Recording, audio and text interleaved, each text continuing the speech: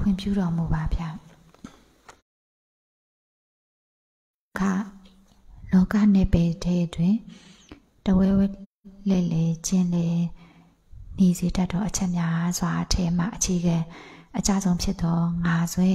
ဒိဋ္ဌိဆွဲပြုတ်မပြုတ်ကို အမှန်တကယ်ရှိရှိပြုတ်ခြင်းဟုတ်မဟုတ်ဆရာသမားအနီးတရားစခန်းဝင်စဉ်ခဏတာနိုင်တာပြုတ်တယ်လို့ဖြစ်နေခြင်းဟုတ်မဟုတ် အိမ်ပြန်သည့်အချိန်အထိဆက်လက်ပြုတ်မပြုတ်စားသည့်အခြေအနေအမှန်ကိုမိမိကိုယ်ကိုမလိမ်ညာတဲ့မိကဲသို့မှန်ကန်စွာအာမနာတဲ့ဆန်းစစ်နိုင်ပါတလေဗျာတပည့်တော်တရားစခန်းဝင်တာယခုအချိန်ဒီပထမဆုံးအချိန်ပါဗျာဆရာလေးပြိုင်ကရုဏာတော်တို့ကြောင့်သူဖြင့်ထက်ကထက်ကဟောဟောပြောပို့ချမှုမြင်မာကျွမ်းကျင်မှုတို့ကြောင့်တပည့်တော်တရားရှုမှတ်နေစဉ်ကြည်နူးရပါတယ်ဗျာ ရခင်ကအတိတ်ကာလတလျှောက်လုံးမတိနာမလည်မှုများစွာဖြင့်အတ္တဆွဲငါဆွဲကြီးမားစွာဖြင့်ပြစ္ဆုတ်ပံကာလဖြစ်စဉ်တို့ဤဖြစ်ပျက်တို့ကို မရှုမြင်မစင်ခြင်းမယက်တန်အစိုးမတန်နိုင်မဲ့အတိတ်အကြောင်းအရာများနှင့်အနာဂတ်စိတ်ကူးများကြားတွင်မောလောင်ပိတ်မိနေကြရပါသည်ဗျာယခုအခါတကယ်မရှိသည်များကိုမြင်မိပြီးလက်ရှိကာလ မရှိနေသည်များမရှိနေသည်များရှိလာဖြစ်လာနေသည်ကို သူ့သဘောအတိုင်းသိမြင်လက်ခံတတ်လာပြီးဖြစ်ပျက်ဖြစ်စဉ်ကိုအလိုလိုမြင်မိ၍ရခင်ကအမောင်ကာလများကဲ့သို့ဖြစ်ကြောမရှိတော့ပဲမိမိမပိုင်သည်ကို၎င်းတက်ကတက်ကဖြစ်လိုက်တီးလိုက်ပြတ်လိုက်ထပ်ဖြစ်လိုက်တီးလိုက်ပြတ်လိုက်စသည်ဖြင့်ရှုမြင် နေမိမှာပါသည်ဖျားသို့တော်မိမိကိုယ်ကိုအပေါ်ယံတီးတာလားဆရာသမားအနီနာမို့ရောင်းတော့ပြန်လွတ်တကယ်တော့ဝိပဿနာဉာဏ်စဉ်များရောရောင်မြင်မိနေသလားတန်တရားပွားမိပါကြောင်းဝန်ခံပါသည်ဗျာတပည့်တော်ကဲ့သို့အိယာတီထောင်တာမန်လူပောင်လောကသားများအတွက်ယခုကဲ့သို့ကြည်နူးခံစားတတ်စီ သောဝိပဿနာဉာဏ်စဉ်ကိုယခုအစဉ်တည်းမယုတ်ရော့စီအားပို့မှုတိုးပွားမြင့်မာလာအောင်ရိတ်တာမှအပြန်လောကီကိစ္စများအထဲတွင်မိကဲတို့နီလန်းကျင့်စဉ်များဖြင့်ဆက်လက်အားထုတ်သွားရမည်ကိုနီလန်းညွန်ပြပေးတော်မူပါရန်လျှောက်ထားအပ်ပါသည်ဗျာ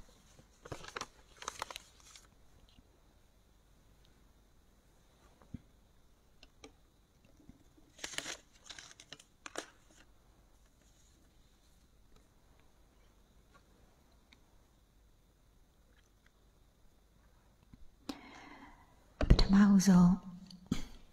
ဒီငါဆွဲဖြုတ်တယ်ဆိုတဲ့သဘောတရားမှာပေါ့နော်အဲဒီတကယ်အမှန်တရားမှာကငကိုကလေးကတကယ်ဖြစ်ပြီးပြတ်နေတဲ့ပရမတ်ယုံတဲ့သဘောမှာငကိုကလေးကငါအနေနဲ့ရှိမနေတာဆိုတဲ့အမှန်တရားဘက်ကနေဂျာနှုံးပြည့်ရက်တည်နိုင်ဖို့ကြိုးစားရတယ်ပေါ့နော်ဟိုငါဘလောက်ငါဆွဲပြုတ်နေပြီလဲဆိုတာထက်ငကိုကလေးက တကယ်ဖြစ်ပြီးပြတ်နေတဲ့ပရမတ်ယုံတဲ့သဘောမှာငါအနေနဲ့ရှိမနေဘူးဆိုတဲ့အမှန်တရားဘက်ကဂျာနှုံးပြည့်ရက်တည်နိုင်ဖို့ကြိုးစားတဲ့အလုပ်ကိုပဲအဓိကထားပြီးလုပ်တင်တယ်ပေါ့ငါဘလောက်ငါဆွဲဖြုတ်နေပြီလဲဖြုတ်နေပြီလဲဆိုတာကိုစမ်းစစ်တာထက်ပေါ့နော်ဒီငကိုရိယတကယ်ဖြစ်ပြီးဖြစ်နေတဲ့ပရမတ်ယုံတဲ့သဘောမှာငါအနေနဲ့ငကိုရိယရှိမနေဘူးဆိုတဲ့အမှန်တရားကိုဟိုညာနှုံးပြည့်လက်ခံနိုင်တဲ့ဉာဏ်ဖြစ်ဖို့အဓိကထားပြီးကြိုးစားပါတယ် ဒီငါဆိုတဲ့အယူဆွဲဆွန့်လွတ်တဲ့နေရာရှူတောင်ဘက်ကနေပြောမယ်ဆိုရင်လေကိုဘလောက်ကိုအခုလက်ရှိငါဆွဲတကယ်ပြုတ်တာဟုတ်ရဲ့လားဆိုတာကိုစမ်းစစ်တာထက်ပေါ့နော်အဲကြံနေသေးတဲ့ငါဆွဲတွေဘာမှမရှိတော့တဲ့အထိစွန့်နိုင်တဲ့ဉာဏ်ဖြစ်ဖို့ကိုအဓိကထားပြီးဥတီရတယ်ပေါ့နော်တကယ်တမ်းကျတော့ဒီငါဆိုတဲ့အယူဆွဲကိုစွန့်နိုင်နေဆိုတာက မညက်ဖို့ဉာဏ်နဲ့မှမဟုတ်သေးဘူးဆိုရင်စိတ်မချသေးပါဘူးစွန့်နိုင်နေဆိုတာနှလုံးဝိပဿနာဉာဏ်မှာကျတော့ဟိုနှလုံးသွင်းပေးနေရတဲ့အားစိုက်ပေးနေရတယ်သိပေးနေရတယ်အားမစိုက်တော့ဘူးနှလုံးမသွင်းတော့ဘူးဆိုရင်မသိတော့ဘူးဆိုရင်ဒါဒီကိလေသာတွေကဟိုအနုတရားမှာအမြင့်မပြတ်သေးတဲ့အတွက်ကြောင့်ငါဆိုတဲ့အယူဆွဲရတကယ်အမြင့်ပြတ်အောင်မပယ်တတ်နိုင်သေးဘူးပေါ့နော်အဲဒါကြောင့်မလို့တရားထုတ်တဲ့ခါမှာအခုလက်ရှိငါဆွဲပြုတ်တာကဟို နှလုံးသွင်းနေလို့ဟဟိုအားဆိုင်နေလို့တိပင်းနေလို့နှလုံးသွင်းမှန်နေသေးလို့ပဲပြုတ်တာပဲရှိသေးတယ်ပေါ့တကယ်တမ်းမညက်ဖူညံနဲ့ပြုတ်တဲ့အထီကိုဥတီသွားနိုင်ရမှာပေါ့နော်မညက်ဖူညံနဲ့အဲဒီငါဆိုတဲ့အယူဆွဲကိုအမြင့်ပြတ်အောင်စွန့်နိုင်တဲ့အထိဥတီရမယ်လို့သာပြောတာငါဆွဲကိုဖြုတ်တယ်ဆိုတဲ့နေရာမှာမရှိတဲ့ငါယူအရှိယူပြီးတော့မှတမင်တကာ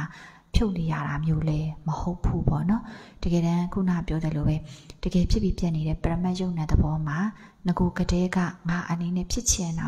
ဖြစ်ခွင့်မရှိဘူးဆိုတဲ့အမှန်တရားဘက်ကသာယာနှုတ်ပြည့်ရက်တည်နိုင်ဖို့ငါမဟုတ်တဲ့သဘောအနေနဲ့ဖြစ်ပြီးမရှိမယ်ဖြစ်ပြီးပြတ်မှတ်တည်တဲ့ဉာဏ်ဖြစ်ဖို့ကိုပဲအဓိကထားမှာပါအဲ့ဒီမှာမှငါဆိုတဲ့အယူဆွဲကိုဆွန့်လွတ်တဲ့ရှူထောင်ဘက်ကကြည့်ပြောမယ်ဆိုရင်ကျတော့ဆရာလေးရဲ့အတွေ့အကြုံလေးနဲ့ ဥပမာပေးပြီးပြောမယ်ဆိုရင်ဒီငါဆိုတဲ့အယူဆွဲကိုနောက်ဆုံးဒီအသိမွေ့ဆုံးဒီလုံးဝစွန့်လွတ်နိုင်တဲ့ဖြစ်ပြီးပြနေတဲ့ငါအနေနဲ့ဖြစ်တည်နေခြင်းမရှိတဲ့ဖြစ်ပြီးပြနေတဲ့သဘာဝယုံတဲ့သဘောနဲ့တသားတည်းကြားတဲ့ဉာဏ်ဖြစ်တဲ့အထီကိုဥတီပြီးတော့ငါမရှိတဲ့သဘောအနေနဲ့မရှိမှပြတ်မယ်သိပြီးတယ်ပေါ့နော်အမှပထမဦးဆုံးဒီငါဆိုတဲ့အယူဆွဲစွန့်လွတ်တာနဲ့ပတ်သက်တဲ့ အခြေခံအကြဆုံးရှူထောင်လေးကိုပြောပြမယ်ဆိုရင်ဆရာလေးကငကိုတရားအာမထုတ်ခင်တော့ငါပေါ့နော်တရားမထုတ်ခင်တော့က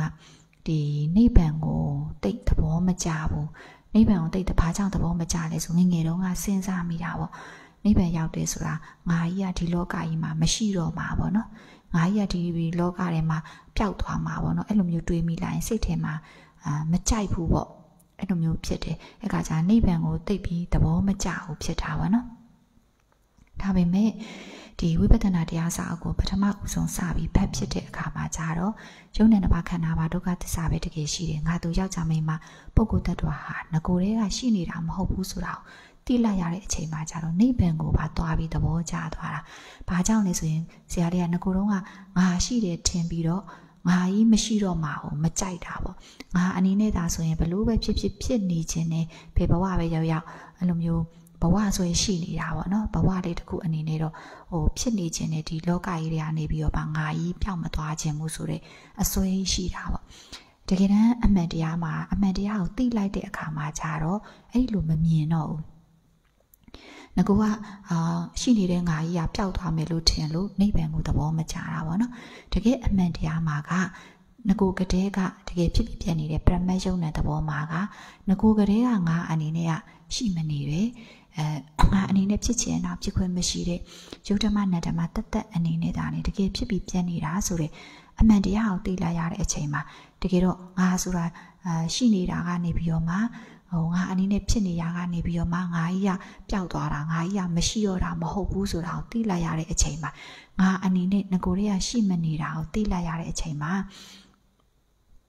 နိဗ္ဗာန်ဆိုတာကဒီဖြစ်ဖြစ်ပြတဲ့ယုံနံကိုဟိုစွန့်နိုင်သွားလို့မဖြစ်မဖြစ်တဲ့နိဗ္ဗာန်ဘက်ကိုလှည့်သွားတဲ့ဉာဏ်တနည်းပြပြောရင်တမှုရိယချုပ်ပြီးဒုက္ခချုပ်တဲ့ဟိုငြင်းငြင်းချမ်းချမ်းသဘောဆိုတဲ့သဘောမျိုးကို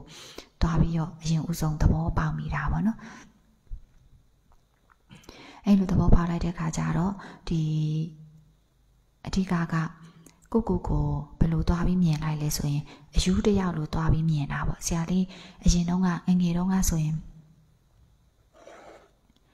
အဲ့လိုမျိုးလူတွေကိုကြည့်တဲ့အခါမှာစင်ရဲတဲ့လူတွေတွေ့တယ်ပေါ့နော်စင်ရဲတဲ့သူတွေအမျိုးမျိုးတွေ့ကြတယ်ပေါ့ဒါပေမဲ့အဲ့လိုမျိုးလူတွေအားလုံးထဲမှာအတနာဆုံးကအဲ့လိုစိတ်မနှံ့တဲ့သူတွေပေါ့နော်ယူတဲ့သူတွေကိုအရန်တနာတယ်ဘာကြောင့်လဲဆိုတော့ ဒီလိုမျိုးစိတ်မနှံ့တဲ့သူတွေကိုကြည့်လိုက်တယ်ဆိုရင်သူတို့ရဲ့ဘဝတွေကဟိုအတိတ်ပဲအရန်ကိုမဲ့တယ်လို့မြင်တာပေါ့ဘာလို့လဲဆိုတကယ်မရှိတာတွေကိုရှိတယ်ထင်တယ်ကိုရှိမှဘယ်သူမှမရှိပဲရှိတယ်ထင်ပြီးတော့ဟိုပြောစကားတွေပြောရင်ပြောနေမယ်ကိုပါကိုဘယင်မဟုတ်ပဲနဲ့ဘယင်လို့ထင်ပြီးအမိန်တွေပေးရင်ပေးနေတယ်ငငယ်တုန်းကဒီလိုအယူတွေအများကြီးတွေ့ဘူးတာပေါ့တွေ့ဘူးတဲ့ခါကျသူတို့ကိုကြည့်ရင်အရန်တနာတယ်တနာတယ်ဆိုတာဘာကြောင့်လဲဆိုတော့ဟိုတကယ်လဲ မဟုတ်ဘဲနဲ့ဟုတ်တယ်ထင်ပြီးဟိုယူနေတယ်ဆိုတဲ့သဘောကိုတနာတာပေါ့နော်ကိုကိုတိုင်းလည်းဟိုအမှန်တရားကိုပဲမျက်နှိုးတယ်အမှန်တရားကိုပဲမျက်နှိုးတယ်ဆိုတာကဒီကိုပါကိုတကယ်မရှိတာအယူရှိတယ်ထင်ပြီးယူနေရတဲ့အဖြစ်မျိုးကိုဖြစ်မှာအရန်ကြောက်တယ်အဲ့လိုမယူချင်ဘူးပေါ့ဒီလိုမျိုးအတိတ်ပဲမဲ့တဲ့ဘဝကြီးမဖြစ်ချင်ဘူးဆိုတဲ့စိတ်ကတော်တော်ရှိတယ်အဲ့လိုစင်ရဲတာဘာညာတွေကအဲ့လိုစိတ်ထဲမှာတိတ်အဲ့လိုမျိုးမရှိဘူးပေါ့နော်ဟိုဒါပေမဲ့ဒီ အဲ့လိုမျိုးယူတဲ့သဘောမျိုးကိုကြတော့အရန်စိတ်ထဲမှာကြောက်တယ်အတိတ်ပဲအရန်မဲ့တယ်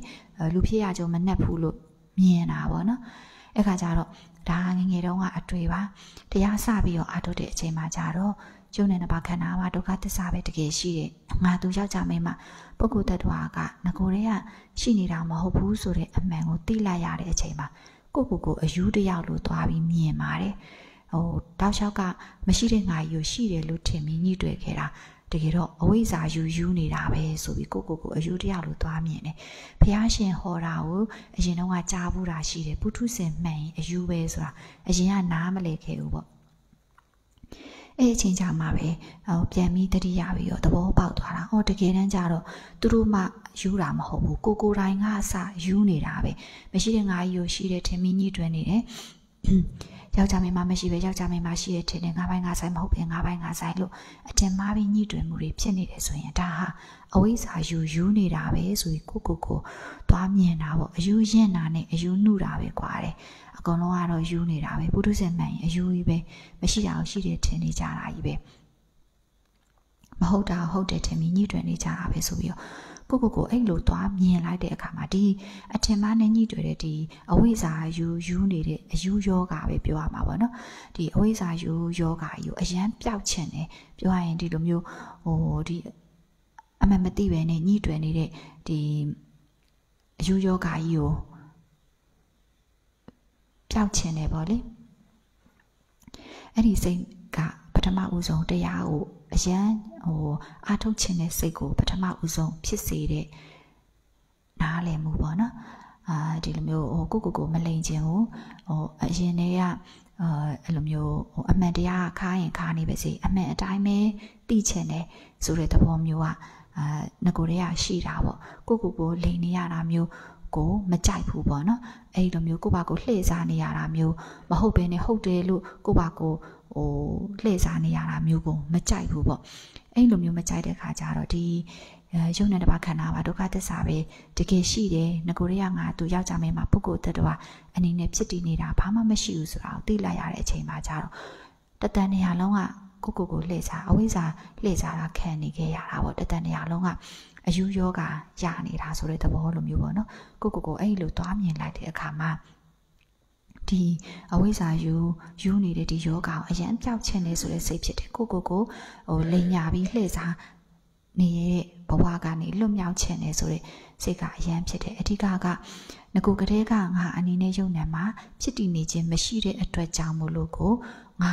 အနေနဲ့အထင်မှာပြီးညှိတွယ်နေတဲ့တမှုတရားကိုပယ်စွန့်ကျင်တာပေါ့နော်ရှိနေတဲ့ငါဆိုကြီးကိုရှိနေတဲ့ငါကြီးကိုဟိုမရှိတော့အောင်လှုပ်ချင်တာမျိုးမဟုတ်ဘူးငကိုကလေးကယုံနေတဲ့သဘောမှာငါအနေနဲ့ရှိမနေဘူးဆိုတာကိုသိသွားတဲ့အတွက်ကြောင့်မရှိတဲ့ငါကြီးကိုရှိတဲ့ထင်ပြီးညှိတွယ်နေတဲ့တမှုတရားကိုပယ်စွန့်ကျင်တဲ့စိတ်ဖြစ်လာတာပေါ့နော်အဲ့ဒီအချိန်မှာပဲလုံးဝ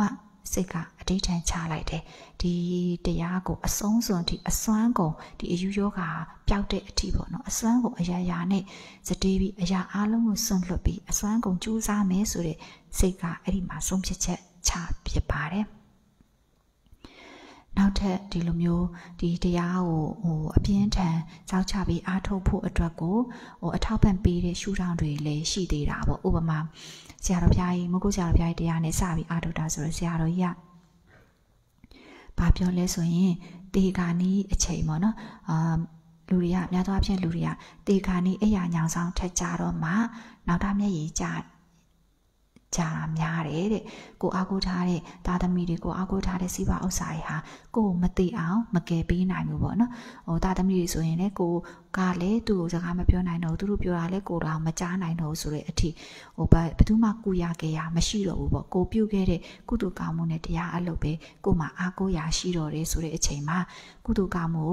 ဟိုအပြေအဝအားကိုးရလာအောင်မလုပ်ခဲ့ဘူးတရားအလုပ်ကိုအားကိုးရလာအောင်မသိခဲ့ဘူးဆိုရင်အဲ့ဒီအချိန်မှာ နောင်တမျက်ရည်ကြာရလိမ့်မယ်ပေါ့အဲ့ဒီဟာလေးကိုဖတ်လိုက်ရတဲ့အချိန်မှာလည်းစိတ်ထဲမှာတော်တော်ကြီးကိုတန်ဝေကရတယ်တန်ဝေကရတယ်ဆိုတာခွန်အားတွေဖြစ်တာပေါ့နော်တရားအားထုတ်ဖို့အတွက်ဘာကြောင့်လဲဆိုရင်ဆရာလေးက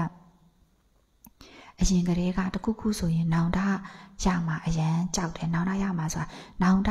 အဲရတဲ့ပူပန်မှုကိုမကြိုက်ဘူးပေါ့ဘာလို့လဲဆိုနောင်တဆိုတာနောင်မရတာလေဘာမှလည်းလုပ်လို့မရတော့ဘူးဆိုမှတော့အဲ့ဒီနောင်တကြီးကိုမကြိုက်တော့တခုခုလုပ်မယ်ဆိုတိုင်းကိုအဆုံးထိစဉ်းစားတယ်ဒါလုပ်ရင်ဘာဖြစ်မလဲဒီရဲ့ကောင်းကောင်းကျိုးဆိုးကျိုးတန်တွေကိုကိုခံနိုင်ရရှိမလားအဆုံးအထိစူးစမ်းပြီးတော့မှနောင်ဒီအလုပ်ကိုလုပ်လို့နောင်တမရနိုင်ဘူးဆိုတဲ့အလုပ်ကိုပဲတေချာမလုပ်ခင်မှာစဉ်းစားပြီးတော့လုပ်တတ်တယ်ပေါ့နော်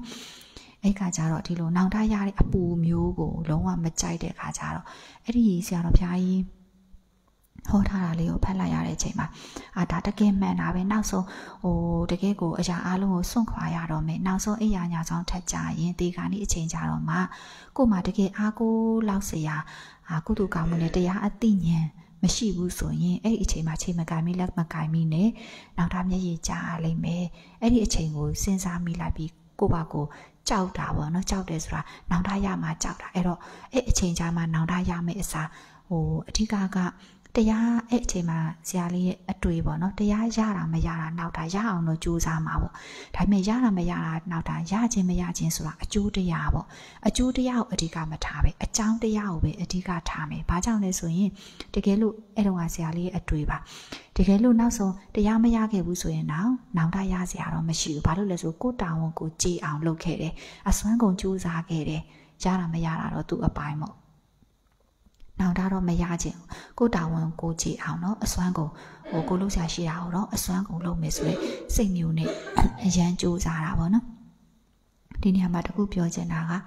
အခုပြောတဲ့များသောအားဖြင့်ယောဂီတွေကတရားအထုတ်တဲ့ခါမှာအကြောင်းတရားကိုအဓိကမထားဘူးအကျိုးတရားကိုပဲအဓိကထားတယ်အာနည်းနည်းလေးလုပ်ပြီးအများကြီးရချင်တာပေါ့နော်ဟိုပြောရရင်တော့ဒီအကျိုးတရားကိုပဲအဓိကမျောလင့်ပြီးလုပ်တာများတာပေါ့ ဟိုဥပမာအကျိုးတရားကိုအဓိကထားပြီးအထုတ်တော့ဘာဖြစ်လဲဆိုရင်ဟာတရားကလေလှုပ်သားလှုပ်နေတာမရနိုင်ဘူးဆိုပြီးစိတ်တက်တီကြာရင်ကြာမယ်ဒါမှမဟုတ်ငါမရရအောင်လုပ်မယ်ဆိုပြီးရောအဲ့လိုမျိုးငါအနေနဲ့တမင်တကာအတင်းကြီးစောကြီးနဲ့လှုပ်ယူတာမျိုးတွေဖြစ်ရင်ဖြစ်မယ်အဓိကကအကျိုးတရားကိုအဓိကထားလိုက်တာက ကောင်းကျိုးမရှိဘူးပေါ့နော်ဟိုစိုးကျိုးတွေပဲများတယ်ဘယ်လိုစိုးကျိုးတွေလဲဆိုအခုပြောတယ်အာတရားကလည်းရအောင်မရနိုင်လေဆိုအကျိုးတရားကိုအဓိကထားရင်ကိုမရနိုင်သေးတာဖြစ်တဲ့အတွက်ကြောင့်ရမှာလည်းမဟုတ်ဘူးအဲ့တော့အကျိုးတရားကိုအဓိကထားနေရင်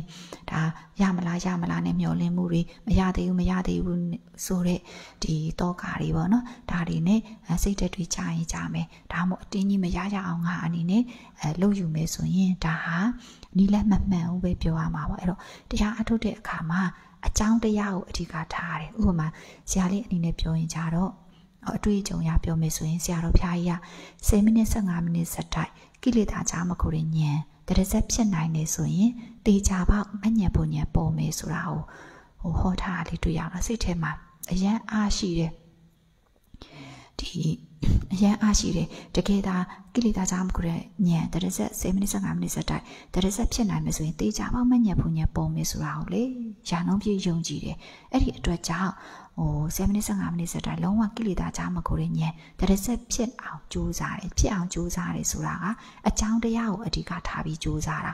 ဟိုအကြောင်းတရားကမပြည့်စုံမှာတော့အကျိုးတရားလည်းပဲလာပါမလဲအဓိကအကြောင်းတရားပြည့်စုံမှသာဒီ7မိနစ်15မိနစ်စတိုက် ကိလေသာကြားမကိုရင်ဉာဏ်ဖြစ်ဖို့အတွက်ပြုလုပ်တဲ့အကြောင်းတရားမပြည့်စုံမှာတော့အကျိုးတရားဖြစ်တဲ့အဲလူရင်းကလည်းဘယ်ရောက်ပါမလဲပေါ့နော်အဲ့တော့ဟိုရတာမရတာကနောက်အဓိကကဒီလိုမျိုးရစေတဲ့ဒီလိုမျိုးလူရင်းရောက်စေမယ်အကြောင်းတရားကိုပဲအဓိကထားပြီးတရဆက်စ조사ဖြစ်တယ်ပေါ့အဲ့တော့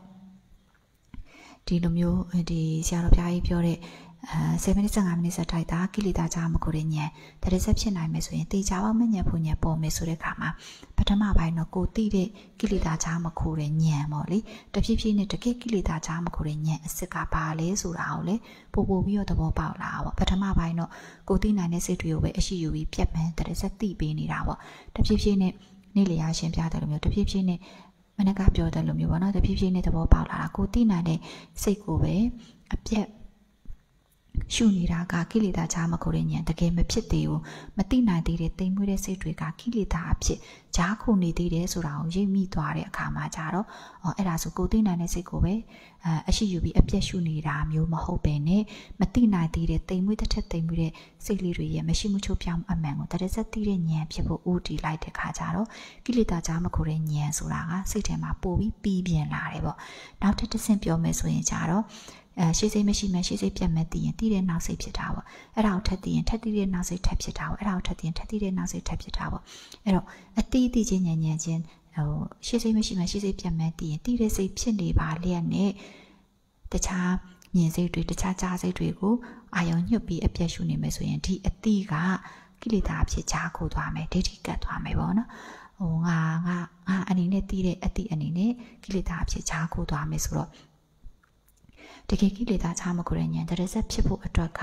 ရှေ့စိတ်မရှိမှပြတ်မှန်တည်ရင်တည်တဲ့နောက်စိတ်ဖြစ်နေပြီဆိုတဲ့အမြင်မျိုးနဲ့အတိအတိချင်းဉာဏ်ဉာဏ်ချင်းကိုပြစ္ဆုတ်ပံချတစ်ထက်ကြအောင်တရဇက်ထက်စမီမရှိမှပြတ်မှန်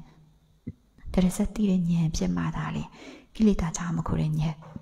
တကယ်ဖြစ်လိမ့်မယ်ဆိုတာကိုအဲ့ဒီပို့ပြီးသဘောပေါက်လာတာပေါ့ထပ်ပြီးပြောရင်တော့ကိလေသာချမကိုတဲ့ဉာဏ်10မိနစ်15မိနစ်စက်တိုက်ဖြစ်အောင်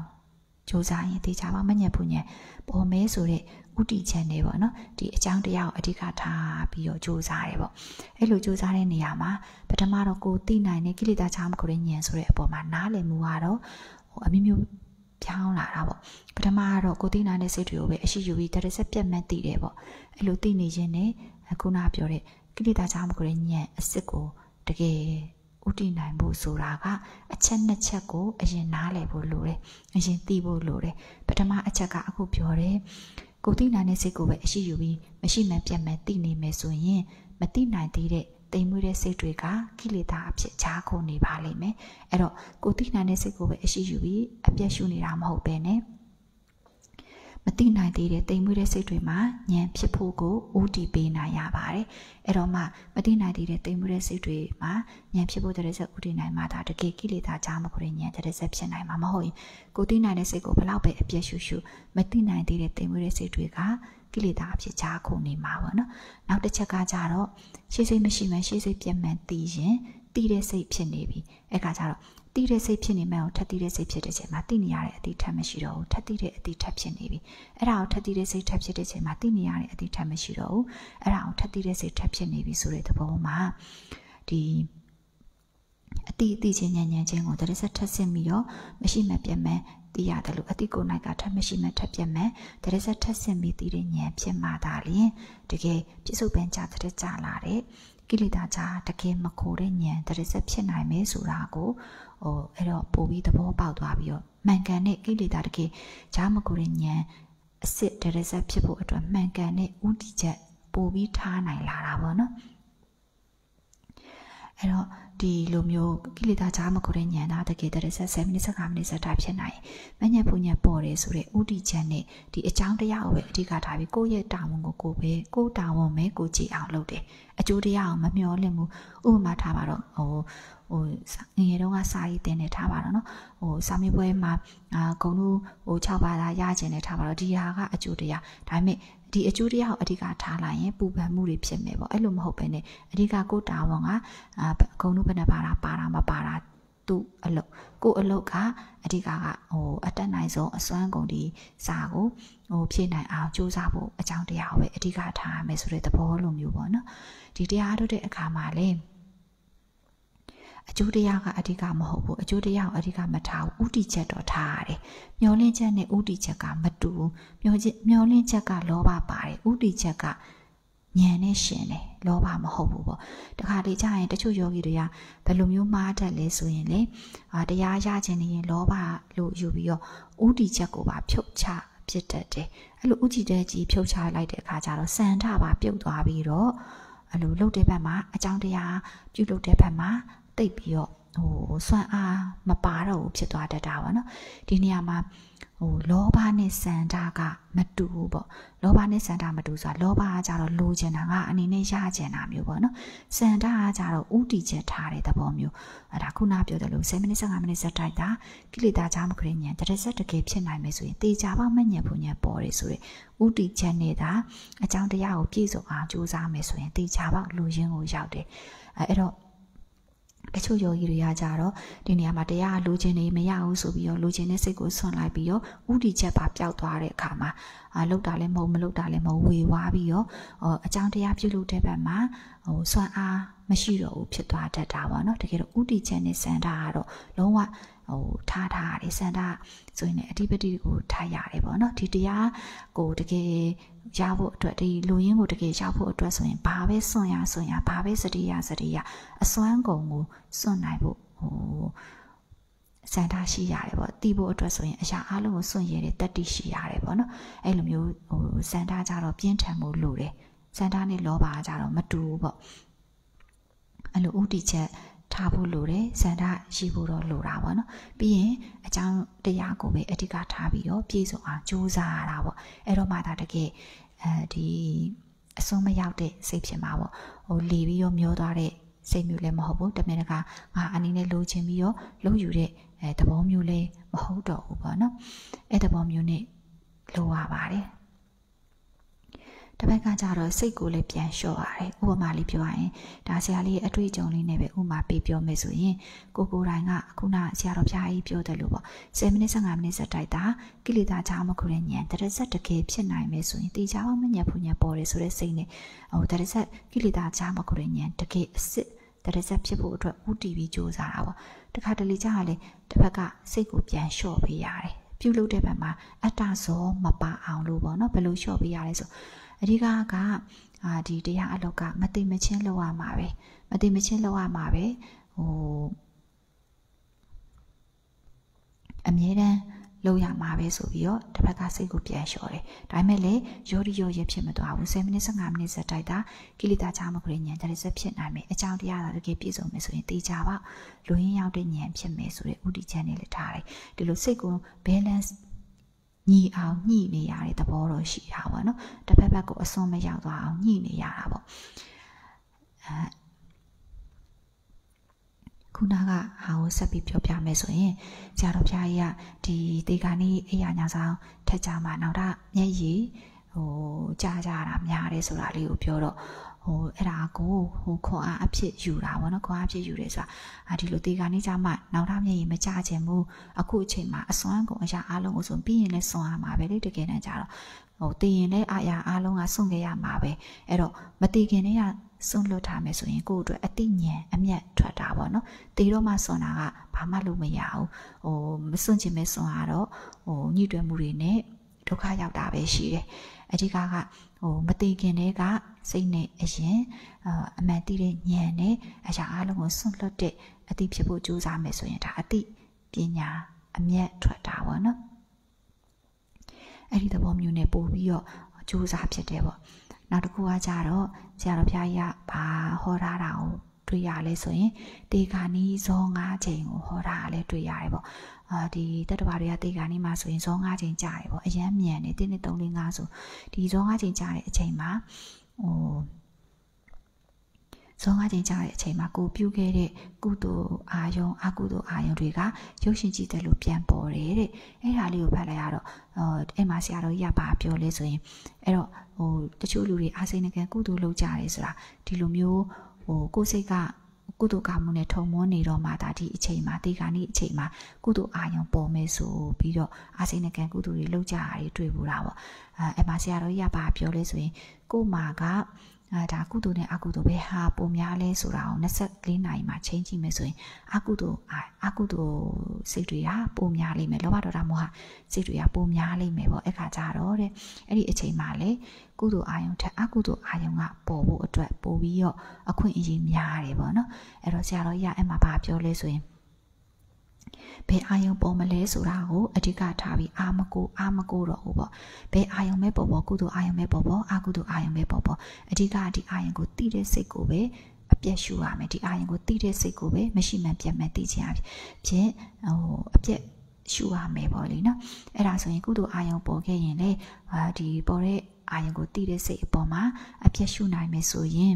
ဒါဉာဏ်နဲ့ရှင်တဲ့ကုသိုလ်ဖြစ်တဲ့အတွက်ကြောင့်အပရိသတ်နေနောက်တစ်ပတ် ဒီသုတိစိတ်အလွန်မှာ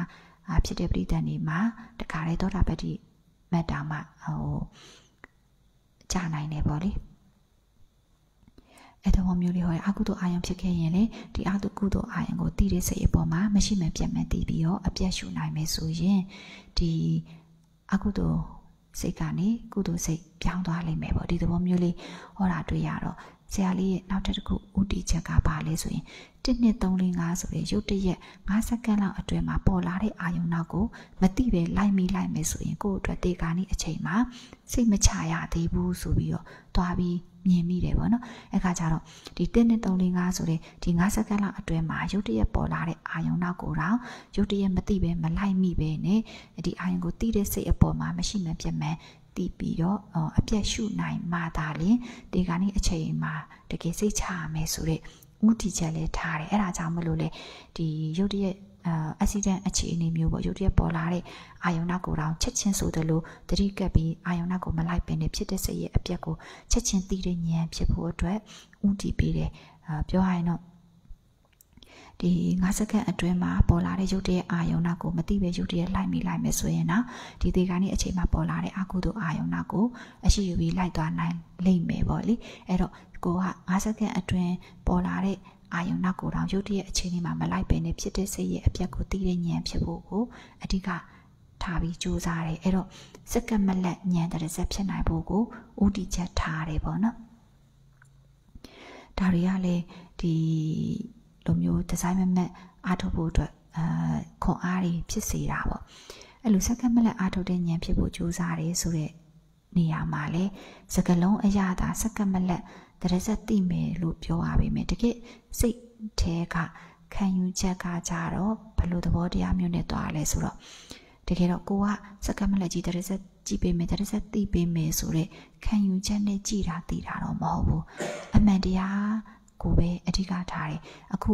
ဟိုစိတ်အနေနဲ့ပြောမယ်ဆိုရင်စိတ်ကမဖြစ်တဲ့အချိန်မရှိဘူးရက်တန့်ခြင်းမရှိအောင်အစားထိုးပြီးချုပ်ပြောင်းနေတဲ့သဘောအပေါ်မှာရက်နာခြင်းမရှိအောင်မေမပြတ်တဲ့ဆက်မရှိမပြတ်မယ်တဲ့ဆက်အရှိအတိုင်းတည်ပေးတယ်ဆိုတဲ့သဘောလေးနဲ့ပဲအမှန်တရားကိုပဲအဓိကထားပြီးသွားတယ်ဥပမာတဦးတယောက်ရဲ့စွမ်းအားဆိုရင်စက္ကန့်မလက်ပဲလို့မှ ဖြစ်ဖြစ်ဖြစ်တဲ့အမှန်ကိုမသိနိုင်ဘူးပေါ့တူတယောက်ရဲ့စွမ်းအားနဲ့အသုံးပြုတာမဟုတ်ပဲねအမှန်တရားတခြင်းတစ်စိတ်အနေနဲ့ရက်တန့်ခြင်းမရှိအောင်အစားထိုးပြီးချုပ်ပြောင်းနေတယ်တဘာဝသဘောခန္ဓာအစစ်တဘာဝစိတ်အစစ်အမှန်တရားဘက်ကနေရက်ရာနှုန်းပြည့်ရက်တည်နိုင်မှုကြိုးစားခြင်းအပြင်ဒီအမှန်တရားကိုပဲအဓိကထားလိုက်တဲ့အခါမှာကြတော့အာဒါငါတချို့ရှိပါတယ်ငါအနည်းနဲ့တရားအားထုတ်နေတော့ငါပြင်းသေးတယ်နောက်မှလုပ်မယ် ငါပြီးရင်တော့လုပ်မယ်ငါအစွမ်းကုန်လုပ်မယ်အဲလို့တတာတင်လိုက်အာပြီးရင်ပြင်းသွားတယ်ဆိုပြီးမလုပ်ချင်တော့လိုက်အဲ့လိုမျိုးငါအနေနဲ့လှုပ်လို့သာ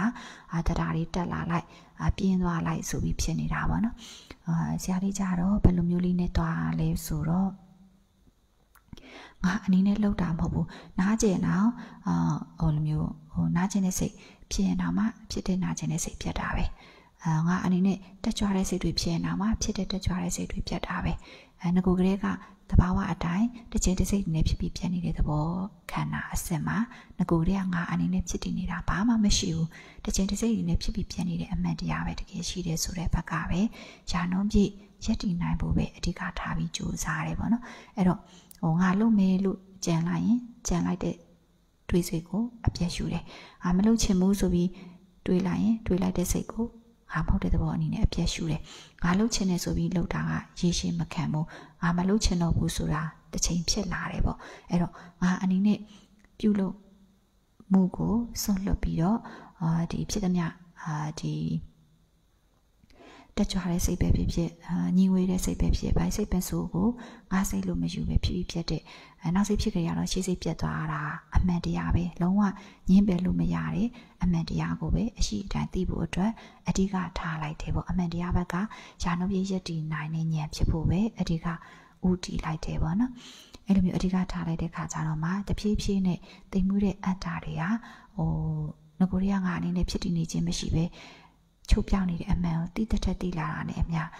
ဒီငါဆိုတဲ့အယူဆွဲတွေကပါတစ်ထက်ပါလာတယ်စွန့်တစ်ထက်စွန့်လာနိုင်တယ်ငါမဟုတ်တဲ့တဘာဝအတိုင်းဖြစ်ပြီးပြက်နေတဲ့တဘာဝတရားနဲ့တစ်ထက်တည်းကြာတစ်ထက်ကြာလာတယ်ပေါ့နော်မရှိတဲ့ငါရုပ်အရှိယူပြီးငါဆွဲကြီးတမင်တကာဖြုတ်နေရတာမျိုးမဟုတ်ပဲနဲ့ငကိုရီးယားတဘာဝယုံတဲ့သဘောမှာငါအနေနဲ့ဖြစ်တည်နေခြင်းရှိမနေဘူးဆိုတဲ့အမြင်မျိုးလေးနဲ့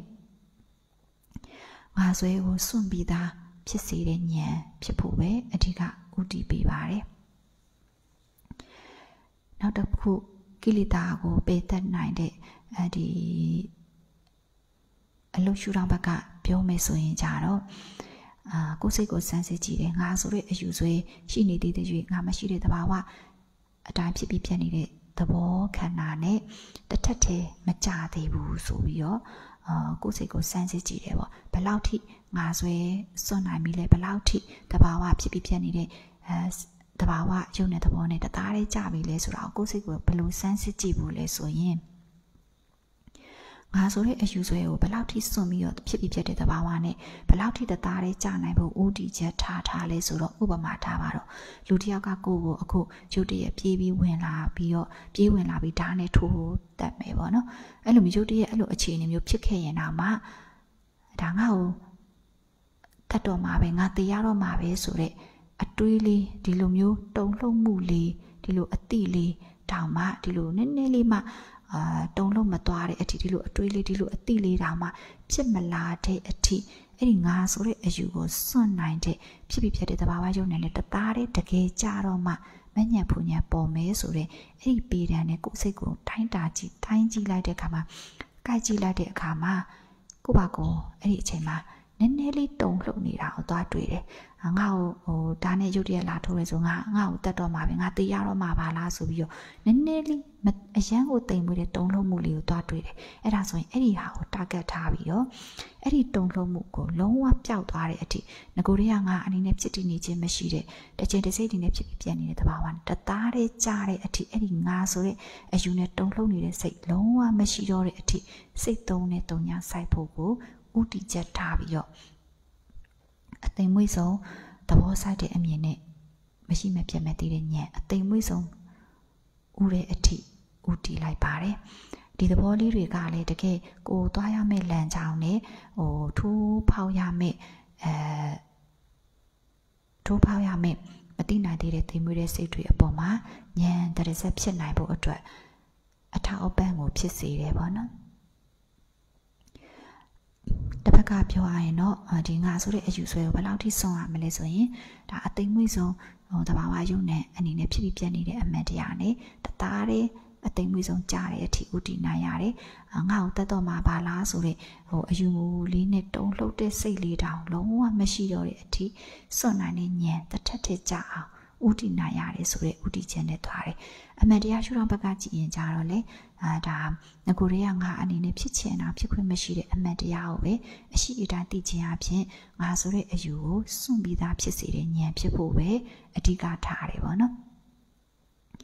ဖြစ်ပြီးပြတ်တယ်မမြဲဘူးဆိုတာနဲ့ပတ်သက်ပြီးရင်လည်းဒီသဘောလိုမျိုးပဲကိုကတမင်တကာကြီးအာဟိုဖြစ်တယ်ပြတ်တယ်ဖြစ်တယ်ပြတ်တယ်ဆိုပြီးတမင်တကာကြီးရှုနေမှတ်နေတာမျိုးမဟုတ်ဘဲနဲ့တဘာဝ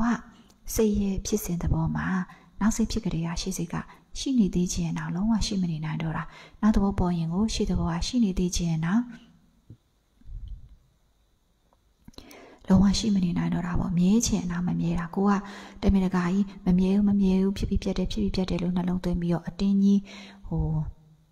မြဲတယ်ဆိုတော့အယူကြီးကိုဖြုတ်နေရတာမျိုးမဟုတ်ဘူးပေါ့ အဲ့တော့တဘာဝစိတ်သဘောရဲ့ဖြစ်စဉ်မှာနောက်စိတ်ဖြစ်ကြရရှေ့စိတ်ကပြက်ပြီးသားတစ်ချိန်မှာတစ်စိတ်အနေနဲ့သာလေအစာတိုးပြီးချုပ်ပြောင်းနေတယ်အတိနှစ်ခုစိတ်နှစ်ခုပြန်ဖြစ်ကိုထုံးစံမရှိဘူးဆိုတဲ့အမှန်တရားဘက်ကနေရက်တည်လိုက်ခြင်းအဖြစ်နောက်စိတ်ဖြစ်တဲ့ဆိုရရှေ့စိတ်ကရှိနေသေးခြင်းတော့ရှိမနေတော့ဘူးဆိုတဲ့အမှန်ကအလွယ်တကူသိနိုင်သွားတယ်လို့မြဲခြင်းအောင်မမြဲတဲ့ရှိနေသေးခြင်းအောင်ရှိမနေနိုင်တော့တဲ့အမှန်ကိုသိခြင်းအဖြစ်ခိုင်နေမြဲတယ်ရှိနေသေးတယ်ဆိုတဲ့ အယူတွေကိုတရဆက်စွန့်နိုင်လာပါတယ်ဒီမရှိရရှိစိတ်တွေကိုရှိနေသေးတယ်ဆိုတဲ့အယူတွေကိုမရှိမပြတ်မသိခြင်းအဖြစ်စွန့်လွတ်လာနိုင်တာနဲ့အများတစ်ချိန်တစ်စိတ်နဲ့ဖြစ်ပြီးပြတ်နေတဲ့တဘာဝအမတရားနဲ့တသားတဲ့ကြာတဲ့ထက်ကြာလာပါတယ်အဲ့တော့ဒီငါဆွဲဖြုတ်တယ်ဆိုတဲ့အပေါ်မှာခံယူချက်မှန်ဖို့လိုတယ်ဆိုတာလေးကိုပြောပြချင်တာပါနော်မရှိတဲ့ငါယူအရှိယူပြီးတော့တမင်တကာစွန့်ရတာဖြုတ်ရတာလည်းမဟုတ်ဘူး ငကိုရေကငါအနေနဲ့ရုံနဲ့တပါမှာငကိုရေကရှိမနေတာဆိုတဲ့အမှန်အရှိအတိုင်းသိပေးခြင်းအဖြစ်ငါဆိုတဲ့အယူကိုစွန့်ပြီးသားဖြစ်နေရတယ်ဒါပေမဲ့ဒီနေရာမှာတခုတတိထားမှာကအခုခေတ်မှာလေအများကြီးတွေ့ရတယ်ပေါ့နော်ငါဆိုတာငကိုရေကမှရုံနဲ့မှရှိမနေတာဆိုပြီးတော့ဟိုဒီငါဆိုတဲ့အယူကိုလက်မခံဘူးဆိုပြီးတော့ ဒီတိုင်းငုတ်တုတ်ထိုင်တဲ့သဘောမျိုးတွေမှားကြတာလည်းရှိပါတယ်။ငကိုရီးယားရုပ်နယ်မှာငါမှမရှိတာအဲ့တော့ငါလည်းဘာမှပြုတ်လုပ်နေစရာမလိုဘူးပေါ့ငါလည်းငါဆွဲဖြုံနေစရာမလိုဘူးငကိုရီးယားမှမရှိတာလို့တီးလိုက်ရင်ငြိမ်သွားပြီပေါ့အဲ့ဒါအဲ့တော့ဒီအတိလေးနဲ့ပဲငြိမ်ပြီးနေတယ်ပေါ့အဲ့ဒီသဘောမျိုးတွေကတကယ်တော့မမှန်ဘူးမမှန်ဘူးဆိုတာငါအနေနဲ့အရှိမယူဘူးလို့ဘလောက်ပဲပြောပြောတမင်တကာအရှိယူမှုကိုပဲစွန့်နိုင်လိမ့်မယ်မသိပဲနဲ့ယူထားတဲ့အယူတွေကိုဘယ်နည်းနဲ့မှ မစွန့်နိုင်ဘူးငါဆိုတဲ့အယူကိုမယူတော့ဘူးဆိုပြီးလွတ်ချလိုက်ရုံနဲ့ငါဆိုရတကယ်ပြုတ်မသွားဘူးပေါ့နော်။ဘာကြောင့်လဲဆိုရင်ကိလေသာဆိုတဲ့နေရာမှာတီးလျက်နဲ့အဲဖြစ်တဲ့ကိလေသာနဲ့မတိပဲနဲ့ဖြစ်တဲ့ကိလေသာဆိုပြီးရှိတယ်မတိပဲနဲ့ဖြစ်တဲ့ကိလေသာဟိုတနည်းအားဖြင့်ပြောရင်တော့အနုတယကိလေသာပဲပြောရမှာပေါ့နော်တမင်တကာငါလို့မယူဘူးလို့ဘလောက်ပဲပြောပြောခုနပြောတယ်လို့ကိုယ်တကယ်လာထိုးတတ်တော်မယ်ဆိုရင်တော့စိတ်ကတေချာပေါက်တုံလုံးပါပဲငါလို့မယူဘူးလို့ဘလောက်လုံးလို့ တေချာပေါက်တုံလုံးလိမ့်မယ်အဲ့ဒါဘာကြောင့်လဲဆိုရင်မတိပဲနဲ့ညှိတွယ်မိနေတဲ့အယူတွေကိန်းနေလို့ပဲအဲ့တော့ငါလို့မယူဘူးငကိုရီးယားငါမှမရှိတာဆိုတဲ့အတိနဲ့ငြိမ်းနေတယ်ဆိုတာမျိုးကဘယ်လို့မှမဖြစ်နိုင်ဘူးအာဒါအကျန်းစားအယူကိုပဲစွန့်နိုင်လိမ့်မယ်တိမ်မွေးတဲ့အနုတယကိလေသာကိုတော့ဒီနည်းနဲ့ကဘယ်နည်းနဲ့မှမစွန့်နိုင်ဘူးပေါ့အဲ့တော့ဒီအနုတယကိလေသာကိုတကယ်ပေစွန့်နိုင်တာကမက်ကင်လန်းချောင်းတစ်ချောင်းလေးပဲရှိတယ်အဲ့ဒါကဘာလဲဆိုရင်ဒီ မသိနိုင်သေးတဲ့တိမ်ပွေးတဲ့စိတ်တွေအပေါ်မှာမရှိရရှိလာတယ်မဖြစ်ရဖြစ်လာတိမ်ပွေးတဲ့သဘောလေးတွေအပေါ်မှာငါမဟုတ်တဲ့သဘောအနေနဲ့အကဲခတ်ပြီးတော့မရှိမပြတ်မသိတဲ့ဉာဏ်ဖြစ်ဖို့ကြိုးစားတာပေါ့နော်ဒါမှသာလျှင်တကယ် အဲဒီမသိဘဲနဲ့ညှိတွယ်မိနေတဲ့အနုတယကိလေသာတွေကိုတောင်မှအသိမွေ့ဆုံးအထိပဲစွန့်နိုင်တဲ့မညံဖူညံတကယ်ဖြစ်တဲ့အထိဦးတည်နိုင်မှာငကိုရီးယားငါမှမရှိတာငါလည်းဘာမှလုပ်စရာမလိုငါငါဆွဲဖြုတ်ချင်နေတာကငါဆွဲပြန်ဖြစ်နေတာဆိုပြီးတော့ငကိုရီးယားငါမှမရှိတာလို့သိလိုက်ရင်ငြိမ်းသွားတယ်ဆိုတဲ့အတိနဲ့ပဲအဲနေနေတယ်ငြိမ်းနေတယ် ဒီလိုသဘောမျိုးတွေအများကြီးဒီအခုအချိန်မှာအများကြီးကိုတွေ့ရတယ်တကယ်တော့အဲ့ဒါကအဲ့ဒါငြိမ်းနေဆိုတာအပေါ်ယံမင်းငြိမ်းတာတကယ်အနုတရမှာတကယ်ကိလေသာငြိမ်းသွားတာလုံးဝမဟုတ်သေးဘူးပေါ့နော်အပေါ်ယံအကျန်းစားအယူတွေတော့စွန့်နိုင်တော့သူ့အထိုင်လျောက်တူတူတော့အငြိမ်းတတ်တော့ရှိမှာပေါ့လေဒါပေမဲ့တကယ်အနုတရကိလေသာကိုပယ်စွန့်နိုင်တဲ့ဉာဏ်တော့လုံးဝမဖြစ်နိုင်သေးဘူးပေါ့နော်အဲ့တော့ အနုတရားကိလေသာကိုအမြင့်ပြတ်တဲ့ပဲဆွနိုင်ဖို့အတွက်ဆိုတာကဒီမက်ကင်လန်တလန်းနဲ့ပဲရှိတယ်။မက်ကင်လန်တလန်းနဲ့ပဲရှိတယ်ဆိုတာကိုဥပမာမက်ကင်၅ပါးကိုအကြံပြင်းလေးပဲပြောပြမယ်ဆိုရင်အခုမှမရှိရရှိလာတယ်မဖြစ်ရဖြစ်လာတယ်တိမ်မွေးတယ်အဲစိတ်လေးတိမ်မွေးတဲ့သဘောလေးအပေါ်မှာ အာဒီအလိုက်တင်လေးပေါ်တဲ့အတိုင်းအကဲခတ်တဲ့စောင့်ကြည့်တယ်ဆိုတာဒါတမာတတိပေါ့နော်တမာတတိဆိုတာကအာဘယ်သူပဲပါပဲဘာပဲညာပဲဒီလူခိုးတတ်တဲ့တတိထားဆိုရင်ဒါတမာတတိမဟုတ်ဘူးတကယ်တမာတတိမှန်ကန်တော့တတိအစစ်ကတကယ်ဖြစ်ပြီးပြတ်နေတဲ့ပရမတ်သဘောအစစ်ကိုစောင့်ကြည့်တဲ့တတိမှာတမာတတိအစစ်ဖြစ်တယ်ပေါ့အဲ့တော့မရှိရရှိလာတယ်မဖြစ်ရဖြစ်လာတယ်တကယ်ဖြစ်ပြီးပြတ်နေတဲ့ပရမတ်သဘောခန္ဓာပရမတ်သဘောအစစ်ကိုဟိုပေါ်တဲ့အတိုင်းအလိုက်တင်လေးတတိ ထားလိုက်တယ်အကဲခတ်လိုက်တယ်စောင့်ကြည့်လိုက်တယ်ဆိုတာတမာတတိပေါ့ဒီလိုစောင့်ကြည့်တဲ့နေရာမှာလဲစောင့်ကြည့်ခံရတဲ့အရှုခံပဲပြောရမှာပေါ့စောင့်ကြည့်ခံရတဲ့ယုံနေတဲ့သဘောကဒီမှာနေဖြစ်ပြီးဒီမှာနေချက်ချင်းပြတ်သွားတာအခုပဲဖြစ်ပြီးအခုပဲပြတ်တဲ့အခိုက်အတန့်သဘောလေးပဲဖြစ်တဲ့အတွက်ကြောင့်စောင့်ကြည့်တဲ့တတိယလေအခိုက်အတန့်အနေနဲ့ပဲစောင့်ကြည့်ရတယ်ပေါ့ပေါ့ပါပါလေးဟိုပေါ်စိတ်အခိုက်မှာအခိုက်အတန့်အနေနဲ့ပဲခက်တစ်ပြက် အကဲခတ်ရတယ်ပေါ့ဥပမာပြောရရင်လျှက်စီးလက်တဲထားပါတော့နော်လျှက်စီးကဖြက်ခနဲလက်သွားတာကိုဘယ်မှာလဲလျှက်စီးဆိုပြီးရှာပြီးစူးစိုက်ချင်နေလို့မရဘူးလျှက်စီးကိုစူးစူးဆက်ဆိုင်နေကြင့်ချင်နေလို့လည်းမရဘူးလျှက်စီးကချက်ချင်းဖြစ်ပြီးတော့ပြတ်သွားတာဒါဥပမာပေးတာပေါ့နော်ယုံနဲ့နံသဘောကဒီလျက်စီးထက်တောင်မြန်သေးတယ်အဲ့ခါကျတော့ဒီလိုယုံနဲ့နံသဘောအခုပဲအခုမှအသစ်ဖြစ်ပြီးအပြီးပြတ်တယ်ဒီမှရင်ဖြစ်ပြီးဒီမှရင်ပြတ်သွားတယ်အခိုက်အတန့် ပရမတ်ရုပ်နဲ့သဘောလေးကိုစောင့်ကြည့်တဲ့တတိယလေအခိုက်အတန့်အနေနဲ့ပဲအကဲခတ်ရတယ်ပေါ့ပပလေးအခိုက်အတန့်အနေနဲ့ပဲစောင့်ကြည့်တတ်ရတယ်ပေါ့နော်စူးစိုက်ပြီးတော့ကြည်တာမဟုတ်ဘူးစုပ်ကံပြီးတည်တာစုပ်ကံပြီးထားတဲ့တတိမျိုးမဟုတ်ဘူးပေါ့အရှုခံကလည်းတိမ်မွေးတယ်လို့အရှုညံကလည်းတိမ်မွေးရတယ်အရှုခံကအခိုက်အတန့်ဖြစ်တယ်လို့ဒီအရှုခံကိုစောင့်ကြည့်တဲ့တတိကလည်းအခိုက်အတန့်လေးအနေနဲ့ပေါ့ပေါ့ပါပါလေးပေါ်တဲ့အတိုင်းတစ်ဆက်ပြောင်းပြောင်းပြောင်းပြောင်းပြီးတော့ ပေါ့ပေါ့ပါလေးနဲ့ပြောင်းပြောင်းပြီးအကဲခတ်ပေးရတယ်စောင့်ကြည့်ပေးရတယ်အရှုခံလည်းအစ်စ်တတိလည်းအစ်စ်အရှုခံအစ်စ်ကိုတိမ်မွေးတဲ့အရှုခံအစ်စ်ကိုတိမ်မွေးတဲ့တတိအစ်စ်နဲ့စောင့်ကြည့်တယ်ဆိုတဲ့သဘောလေးနဲ့သဘောထားရတယ်ပေါ့နော်အဲ့ဒါမှတကယ်တမာတတိအစစ်ဖြစ်ပါတယ်ပြီးတော့တမာဝါယမအနေနဲ့ပြောရင်လေ ဒီလိုမျိုးမရှိရရှိလာတယ်မဖြစ်ရဖြစ်လာတဲ့သဘောလေးအစစ်ပေါ်မှာအာစောင့်ကြည့်ဖို့အတွက်အားဆိုင်ရုံတက်တက်လေးငါမပါပဲအားဆိုင်ရုံတက်တက်လေးအားဆိုင်တာဒါတမဝါယမပေါ့ငါမပါပဲအားဆိုင်ရုံတက်တက်လေးအားဆိုင်တယ်ဆိုတဲ့နေရာမှာအာငါငါအနေနဲ့အပြင်းထန်စူးစမ်းမယ်ဆိုတဲ့ဝိရိယမျိုးနဲ့မတူဘူးပေါ့နော်သူ့ရဲ့အရှုခံကိုနိုင်ကဒီမှရင်ဖြစ်ပြီးဒီမှရင်ပြတ်တဲ့အခိုက်အတန့်ယုံတဲ့သဘောဆိုတော့ဒီအမှန်တရားကိုစောင့်ကြည့်ဖို့အတွက်အားစိုက်တဲ့ပြုလုပ်မှုကလည်းအခိုက်အတန့်လေးအနေနဲ့အားစိုက်ပေးရတယ်ပေါ့ ဟိုငါမပါပဲပြုလုပ်ရင်တက်တက်လေးပြုလုပ်ထရတယ်ပေါ့နော်အဒီသဘောပေါ်မှာစောင့်ကြည့်ပြီးရင်နောက်သဘောပေါ်မှာစောင့်ကြည့်ဖို့အတွက်အားစိုက်မှုအစ်စ်နဲ့အရှုခံအစ်စ်ကိုပြုလုပ်မှုအစ်စ်နဲ့စောင့်ကြည့်တဲ့တတိအစ်စ်ကိုဖြစ်စေရတယ်ပေါ့ပြောချင်တာကဒီတမဝါယမအစ်စ်ကလည်းမရှိရရှိလာတဲ့ပရမတ်သဘောအစစ်ပေါ်မှာအခိုက်အတန့်အနေနဲ့ဒီမှာနေဖြစ်ပြီးဒီမှာနေပြတ်သွားတယ်အခိုက်အတန့်ပရမတ်သဘောလေးအပေါ်မှာ အခိုက်အတန့်အနေနဲ့ပဲအကဲခတ်ပြီးတော့အားဆိုင်ုံတက်တက်လေးအခိုက်အတန့်အနေနဲ့အားဆိုင်ပေးရတယ်အစ်စ်အစ်အနေနဲ့ပြုလုပ်ရုံတက်တက်လေးပြုလုပ်တတ်ရတယ်ပေါ့နော်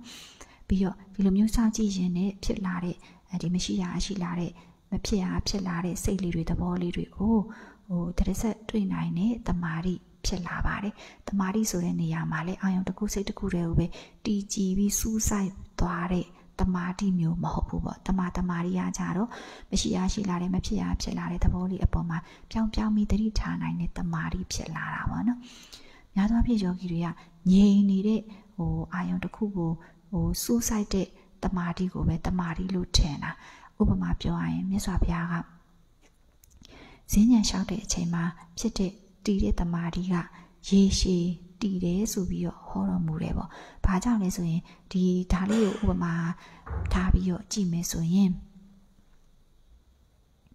အာယုံတစ်ခုဟိုစဉ္ညာလျှောက်တဲ့အချိန်မှာတည်တဲ့တမာရီကပြောင်းလဲမှုအပေါ်မှာတည်တဲ့တမာရီဖြစ်တဲ့အတွက်ကြောင့်ဟိုပြောင်းလဲမှုပေါ်မှာတည်တဲ့တမာရီကပို့ပြီးတော့ရေရှည်တည်တယ်ပေါ့နော်အာယုံတစ်ခုစိတ်တစ်ခုတည်းကိုထားတဲ့ တမာရီကကြတော့တခြားအာယုံတခြားစိတ်ပြောင်းသွားပြီဆိုရင်ဒီတမာရီလည်းပြတ်သွားတယ်အဲ့ဒီတမာတမာရီရဲ့သဘောတရားကကြတော့အဲ့ဒီပြောင်းလဲမှုမှာတည်တဲ့တမာရီမျိုးပါပြောင်းလဲမှုမှာတည်တဲ့တမာရီဆိုတာကမရှိရရှိလာတယ်မဖြစ်ရဖြစ်လာတယ်အဲစိတ်အစ်စ်သဘောအစ်စ်ပေါ်မှာပြောင်းပြောင်းပြီးတတိထားရတဲ့အပေါ်မှာတည်ကြည်လာတာပေါ့နော်တရစက်ပြောင်းပြောင်းပြီးအကဲခတ်နိုင်လာတဲ့တမာရီ ဖြစ်လာတာပေါ့တီလာတာပေါ့တီလာတယ်ဆိုတာအာယုံတစ်ခုစိတ်တစ်ခုထဲမှာစူးစိုက်ပြီးဆွဲမြဲသွားတာမျိုးတမာရီကိုပြောချင်တာတော့မဟုတ်ဘူးပေါ့ပြောင်းပြောင်းပြီးဖြစ်ပြနေတဲ့အဲသဘောအသစ်သစ်ပေါ်မှာပြောင်းပြောင်းပြီးအကဲခတ်နိုင်တဲ့တမာရီဖြစ်လာတာတမာတမာရီပေါ့အဲ့တော့မရှိရရှိလာတဲ့မဖြစ်ရဖြစ်လာတဲ့သဘောလေးကိုအကဲခတ်တတ်ပြီးစောင့်ကြည့်တတ်ပြီးတွေ့နိုင်ပြီးဒီစိတ်လေးတွေကိုတစ်ဆက်အကဲခတ်မှုမှာစောင့်ကြည့်မှုမှာတည်ကြည်လာပြီဆိုရင်ဒါတမာရီမခင်၃ပါးပြည့်တယ်ပေါ့ ဒါပေမဲ့ तू ကဝိပဿနာဉာဏ်မဟုတ်သေးဘူးဖြစ်တာကိုပဲသိသေးတာအပြတ်တာကိုမသိသေးတော့ဒါတမာရီမခင်၃ပါးပဲရှိသေးတယ်ပေါ့နော်အဲ့တော့နောက်ပညာမခင်နှစ်ပါးအနေနဲ့ပြောမယ်ဆိုရင်ကြတော့ဒီလိုပြောင်းပြောင်းပြီးအမရှိရရှိလာတယ်မဖြစ်ရဖြစ်လာတယ်မရှိရရှိလာတယ်မဖြစ်ရဖြစ်လာတယ်သဘောအသစ်စိတ်အသစ်ပေါ်မှာပေါ်တဲ့အတိုင်းပြောင်းပြီးတော့အကဲခတ်တက်လာတယ်စောင့်ကြည့်တက်လာတယ်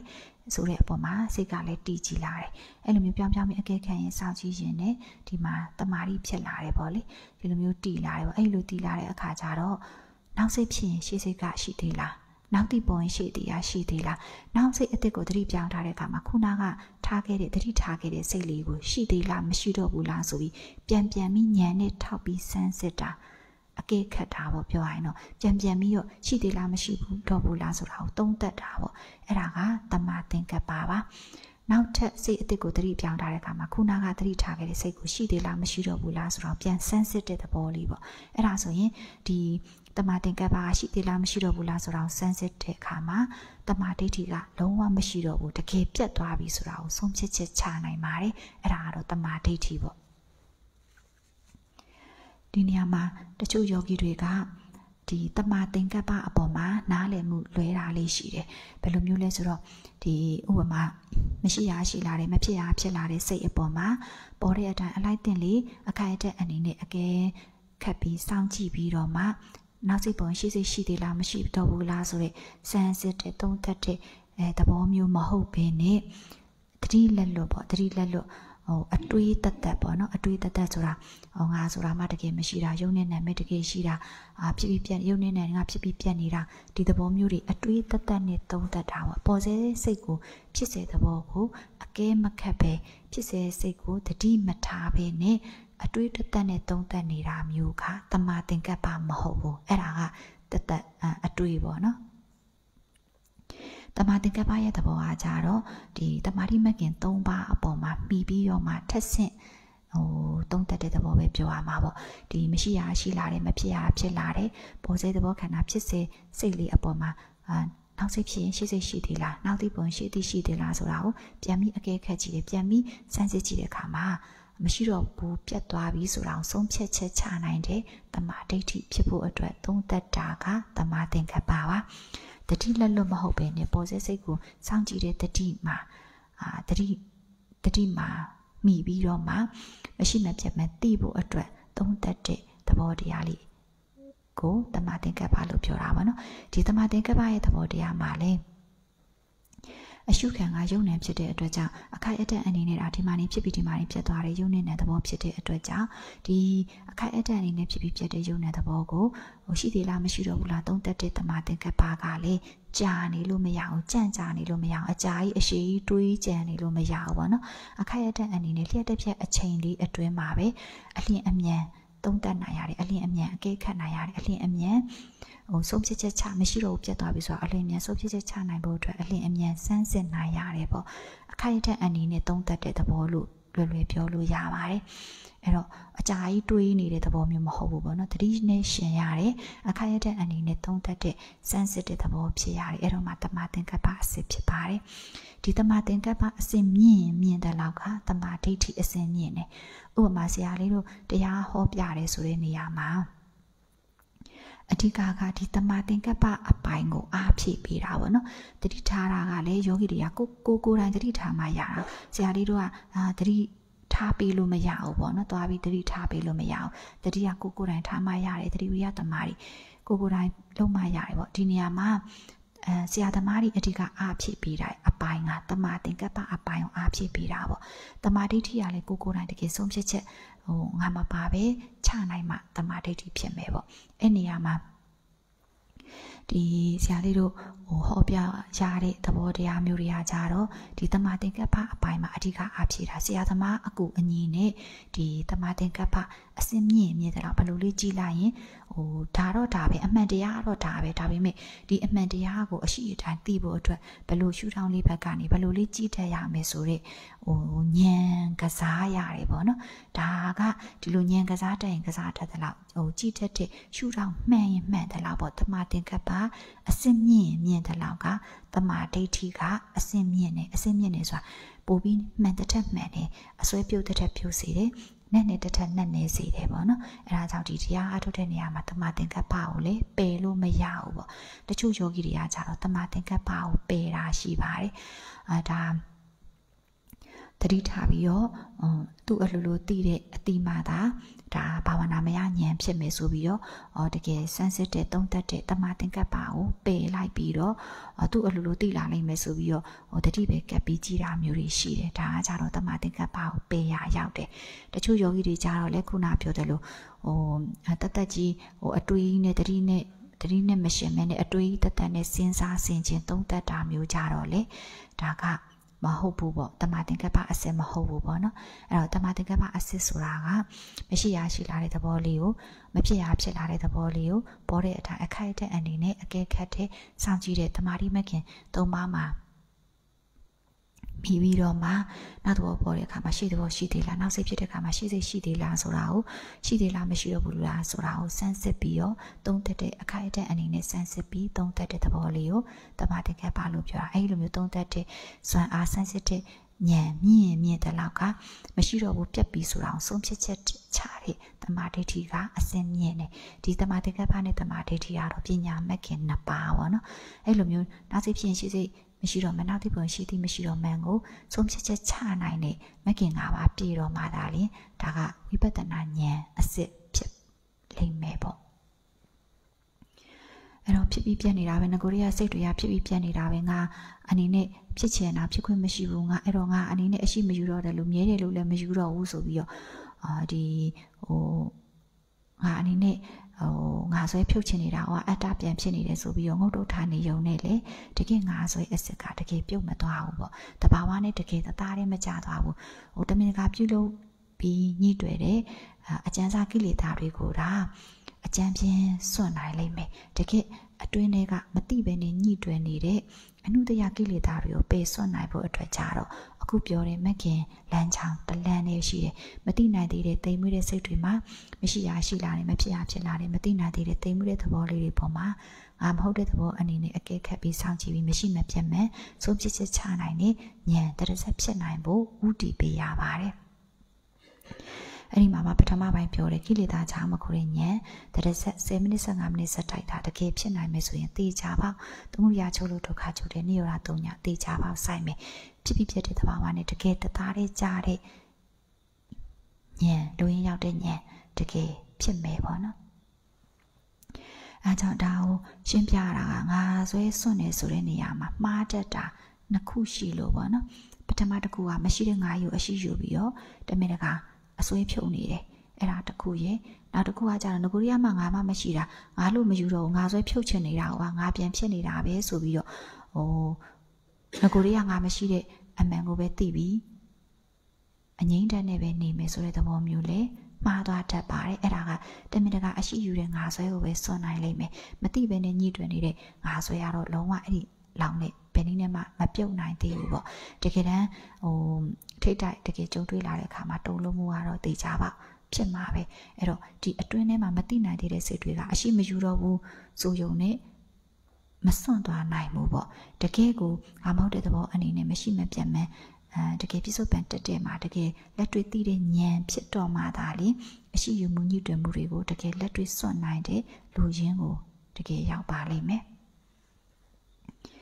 အဲ့တော့ဒီမက်ကင်လန်းကြောင်းတချောင်းလေးပဲတကယ်အနုတ္တိယကိလေသာတွေကိုပယ်စွန့်နိုင်တယ်မညံ့ဖွညံဖြစ်တဲ့အထိဥတည်နိုင်မယ်ဆိုတာကိုပြောရတာပေါ့နော်အဲ့တော့ဟိုတစ်ဖက်ကမရှိတဲ့ငါးယူလည်းအရှိယူပြီးစွန့်နေတာမဟုတ်ဘူးငကိုရီးယားငါအနေနဲ့ဖြစ်တည်နေခြင်းငါရုပ်နဲ့နာမငါအနေနဲ့ဖြစ်ချင်တာဖြစ်ခွင့်မရှိဘူးဒီအမှန်တရားကိုသိတဲ့ဘက်မှာလည်းငါမပါရအောင်လုံးဝမသိရဘူးဆိုရင်လည်းလုံးဝမသိတော့ဆိုရင်လည်းမောဟဖြစ်သွားမယ်သိတော့သိရမယ်ငါမပါပဲ အဲတိယုံတက်တက်လေးတတိထားအောင်တက်တက်လေးတတိထားပြီးမရှိမပြတ်မှန်တိယုံတက်တက်လေးသိပေးရတယ်အဲ့တော့မှသာအာစစ်မှန်နဲ့လူရင်းရောက်တဲ့ဉာဏ်တရဆက်ဖြစ်နိုင်လိမ့်မယ်ပေါ့ဒီလိုအဖက်ဖက်ကနေဟိုမစ္စည်းမပရိပရာဆိုတဲ့အတိုင်းပဲအစွန်းနှစ်ဖက်မရအောင်အလေအလက်လမ်းစဉ်နဲ့အစွဲကိုအသိမွေ့ဆုံးထိအမှန်တရားကိုအရှိတာတည်တဲ့ဉာဏ်နဲ့ဟိုဆွန့်လွတ်နိုင်တဲ့ဉာဏ်ဖြစ်စေဖို့ဥတည်ရတယ်ပေါ့နော် ဆွန့်လွတ်ရတယ်ဆိုတဲ့နေရာမှာလဲစုပ်ကန်ကြမရှိတဲ့အမှန်ကိုသိခြင်းအဖြစ်ဆွန့်လွတ်တာမှာဒါတကယ်ကိလေသာကိုအကြောင်းရင်းကနေပယ်တတ်နိုင်တဲ့ဉာဏ်အစစ်ဖြစ်ပါလိမ့်မယ်နောက်တစ်ခုကကြတော့ဒီလိုမျိုးဟိုဒီမိကောမှာမိထားတဲ့လိုမျိုးပေါ့နော်ဟိုကိုကိုတိုင်းတကယ်သိတာလားဆရာသမားရဲ့ဟိုအရှိန်နဲ့ပေါ့နော်ဟိုဆရာသမားပြောပြတဲ့ အဲဒီသဘောတရားကို copy ယူပြီးသိတာလားဆိုတာမျိုးယောဂီတော်တော်များများမေးတတ်ကြတယ်။ဒါနဲ့ပတ်သက်ပြီးပြောပြမယ်ဆိုရင်ဆရာလေးကိုယ်တိုင်အနေနဲ့ပေါ့နော်အတွေ့အကြုံလေးပြောရမယ်ဆိုရင်ဆရာလေးကြတော့တရားစပြီးအာထုတ်ကြတဲ့ကအာဒီတောက်လျှောက်ပေါ့နော်ဒီဖြစ်ဖြစ်ပြတဲ့အမှန်ကိုကိုကိုယ်တိုင်ငါတကယ်သိတာလားဆိုတာကိုတခါမှမတွေးမိဘူးတခါမှလည်းမစင်စားမိဘူးပေါ့နော်။ ဘာကြောင့်လဲဆိုရင်ဒီအမှန်တရားကိုသိမဲ့ငါမှမရှိတာ။မရှိတဲ့ငါကြီးကိုရှိတယ်ထင်ပြီးညှိတွယ်နေတဲ့တမှုတရားကိုဒါအသိမ့်မွေ့ဆုံးထိချုပ်ဆုံးဖို့အတွက်ဖြစ်ပြီးပြက်နေတဲ့တဘာဝယုံနဲ့တသားတဲ့ကြားတဲ့ဉာဏ်ဖြစ်ဖို့အတွက်ပဲဥတည်နေတာ။ဒီငါတကယ်သိရလားဆိုတာကိုစဉ်းစားရခေါင်းမှန်းတော့မသိဘူး။ဘာကြောင့်လဲဆိုရင်ငါအနေနဲ့သိနေရင်တော့အဲ့ဒီတသိနေတဲ့ငါဆွဲကိုစွန့်ဖို့ပဲဥတီတာဖြစ်တဲ့အတွက်ကြောင့်ငါတကယ်သိတာလားဆိုတဲ့အမြင်က မမှန်ဘူးပေါ့တကယ်ဟိုရှုထောင့်တစ်ခုဘက်ကပြောမယ်ဆိုရင်တော့ဆရာသမားအတိတုတမယညံလားဒါမှမဟုတ်စေတာမယညံလားဒါမှမဟုတ်ဘာဝနာမယညံလားအနေနဲ့ကိုယ့်ဘာကိုစမ်းစစ်ကြည့်မယ်ဆိုရင်တော့အခုနကပြောတဲ့မက်ကင်၅ပါးမက်ကင်လမ်းကြောင်းနဲ့ကြိုက်ကြည့်လို့ရတယ်။ဆရာသမားပြောတာကိုကိုကစဉ်းစားပြီးတည်တာဆိုရင်တော့ဒါဘာဝနာမယညံမဟုတ်ဘူး။ဆရာသမားပြောတာကိုဟို ကြားဘူးလို့တည်တာကဒါတုတမယညံပေါ့နော်ကိုပါကိုစဉ်းစားရစင်ချင်းနဲ့တုံးသက်တယ်အဲ့လိုမျိုးနဲ့တည်တာကကြတော့စိတ်ဓာမယညံပေါ့အဲ့လိုမဟုတ်ဘဲနဲ့တကယ်မရှိရရှိလာတယ်မဖြစ်ရဖြစ်လာတယ်ပေါ်စေသဘောခန္ဓာဖြစ်စေစိတ်ကိုအကဲခတ်ပြီးစောင့်ကြည့်ပြီးမရှိမှပြတ်မှန်တကယ်တည်တဲ့ညံကမဟုတ်တဲ့သဘောအနေနဲ့ ဖြစ်ပြီးပြတဲ့အမှန်ကိုသိတဲ့ဉာဏ်ကတော့သိကြပါဘာဝနာမယဉာဏ်ဖြစ်တယ်အဲ့တော့ငါတကယ်သိတာလားဆိုတဲ့အတုံးအနှုံးကမမှန်ဘူးငါအနေနဲ့သိနေရင်အဲ့ဒီငါဆွဲကိုစွန့်အောင်ပါအဲ့တော့ငါတကယ်သိတာလားဆိုတဲ့အမြင်ထက်ကိုတကယ်မမှန်ကန်ကန်စမ်းစစ်မယ်ဆိုရင်ဒါတုတမယဉာဏ်လားစေတာမယဉာဏ်လားဘာဝနာမယဉာဏ်လားဆိုတာကြတော့ဒီမက်ကင်လမ်းကြောင်းနဲ့ကိုပါကိုကြိုက်ကြည့်လို့ရတယ်ပေါ့နော်အဲ့ဒါမှဒါမှန်ပါတယ် နောက်တစ်ခုကကြတော့စွန့်နေဆိုတဲ့နေရာမှာငါဆိုတဲ့အယူဟိုစွန့်နေဆိုတဲ့နေရာမှာဒီဝိပဿနာဉာဏ်ကအမြင့်ပြတ်အောင်တကယ်မစွန့်နိုင်သေးတဲ့အတွက်ကြောင့်ဒီမှာရိတ်တာဝင်တဲ့အချိန်မှာအထိုင်လျောက်စွန့်နိုင်သွားတယ်ဆိုရင် အာဒီရိတ်တာထွက်ပြီးတော့အိမ်မှာအာအလုပ်လုပ်စရာရှိရာတွေကိုတတိလက်လွတ်လုပ်နေရင်တော့ငါဆိုရပြန်ဖြစ်လာလိမ့်မယ်ပိုပြန်ကြီးလာလိမ့်မယ်ပေါ့နော်အဲ့တော့ဒီတောက်လျှောက်ကဒီအခုစွန့်နိုင်တာနဲ့လေရက်မနေရအောင်အသိမ့်မွေ့ဆုံးထိစွန့်စရာမလိုတဲ့ဉာဏ်ဖြစ်တဲ့အထိဥတည်ရတယ်ဟိုတရားအလုပ်ကကြတော့အဆုံးရှိတယ်ကျန်တဲ့အလုပ်တွေကအဆုံးမရှိဘူးဒီတရားအလုပ်လုပ်ရတာတကယ်ကျင်းတဲ့ဖို့ကောင်းတယ်ဘာကြောင့်လဲဆို အဆုံးရှိလို့ပဲကျန်တဲ့လော်ကီအလုပ်တွေကဘယ်အလုပ်ကမှဘယ်တော့မှမဆုံးဘူးကိုကမလုပ်တော့မှဒါမလုပ်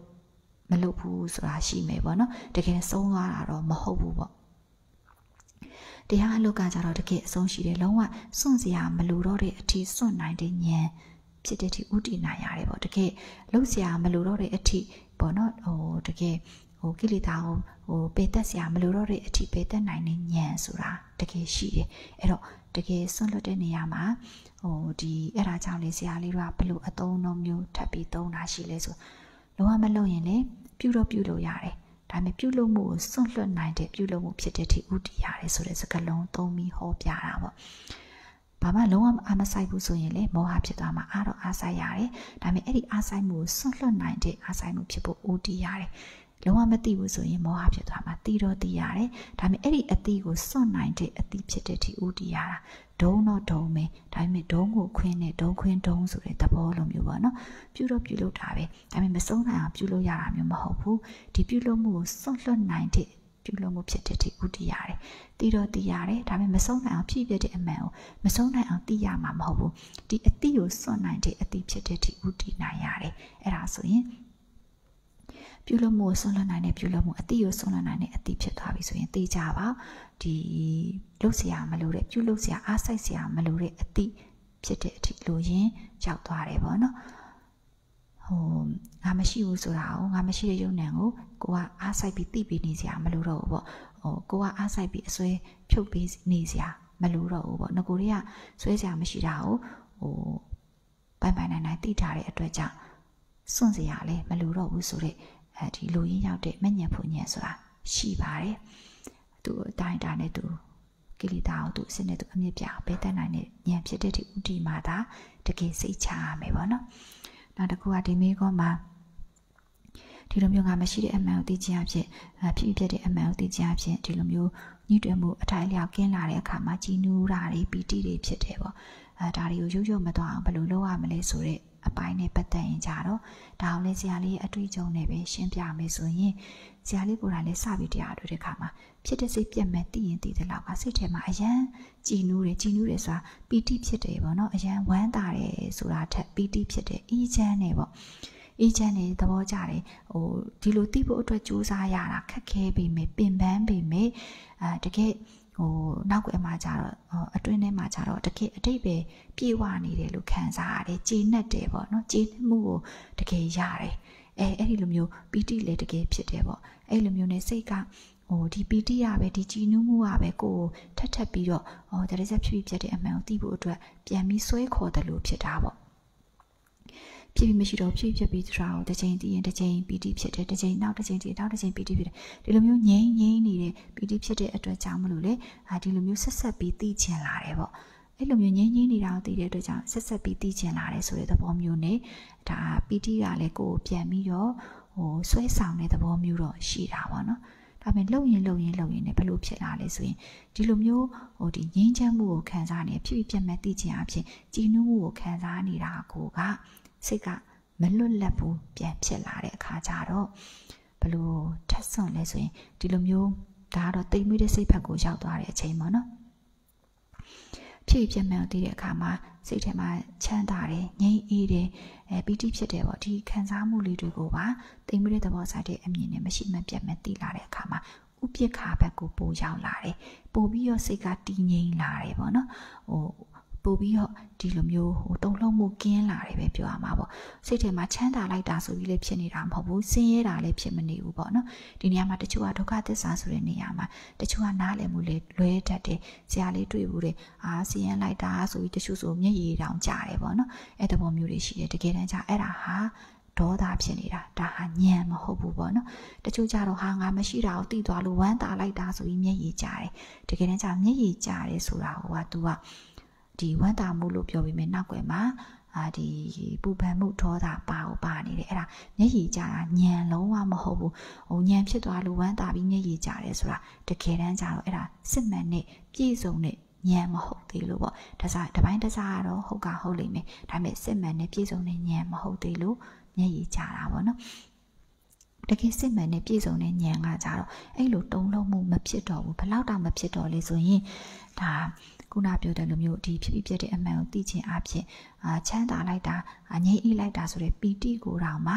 အရှိပြန်မယူတော့ပဲဒီသဘောလေးတွေကိုပါအာငါမဟုတ်တဲ့သဘောအနေနဲ့ဖြစ်ပြီးပြန်မဲ့သိလာတဲ့အခါမှာပိုပြီးစိတ်ကငြိမ်လာတယ်ငြိမ်လာပေမဲ့ဒီပီတိကကိုယ်မစွဲဆောင်တော့ပေမဲ့ပိုပြီးတော့တောင်မှညံကတဘာဝနဲ့တသားတည်းပို့ပြီးကြာလိုက်နိုင်တယ်။အဲ့အချိန်အနေမျိုးပါဆိုရင်တုံးလုံးမှုကဘလောက်တောင်ကျင်လဲဆိုရင်ဆရာလေးအတွေ့အကြုံရပြောရင်တော့ကိုယ့်ဘာကိုစမ်းစစ်ကြည့်တာပေါ့အဲ့အချိန်မှာဒါတော့မှတကယ်လူရင်းရောက်တဲ့ညံမဟုတ်သေးဘူးပေါ့။အဲ့အချိန်မှာတော်တော်ကြီးတော့စိတ်ထဲမှာဒီ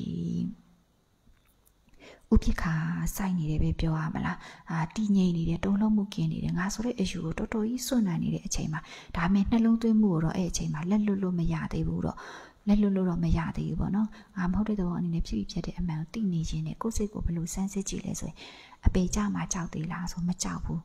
ဟိုနှက်ပြေရောက်ချင်လားဆိုလည်းမရောက်ချင်ဘူးအပေကြမှာကြောက်သေးလားဆိုလည်းမကြောက်ဘူးဘာကြောင့်လဲဆိုအပေကြစရာငါလည်းမရှိတယ်လို့နှက်ပြေရောက်စရာငါလည်းမရှိဘူးဆိုတာကိုရှင်ထဲမှာတိတိချက်ချကိုသိနေတာပေါ့နော်ဟိုငါဆိုတဲ့အယူကိုတကယ်ကိုစွန့်နေနိုင်နေတာဒါပေမဲ့ဒီနှလုံးသွင်းမှုဒီအားဆိုင်မှုလေးကိုတော့မလွတ်ရဲသေးဘူးအဲ့ဒီအချိန်မှာဒီလိုနှလုံးသွင်းနေရင်တော့လုံးဝကိုဒီနှလုံးသွင်းမှုနဲ့ဆိုရင်တော့အရာရာကိုရင်ဆိုင်ရတယ်ငါဆိုတာတကယ်မရှိဘူးဆိုတော့စိတ်ထဲမှာတေချာကြီးကို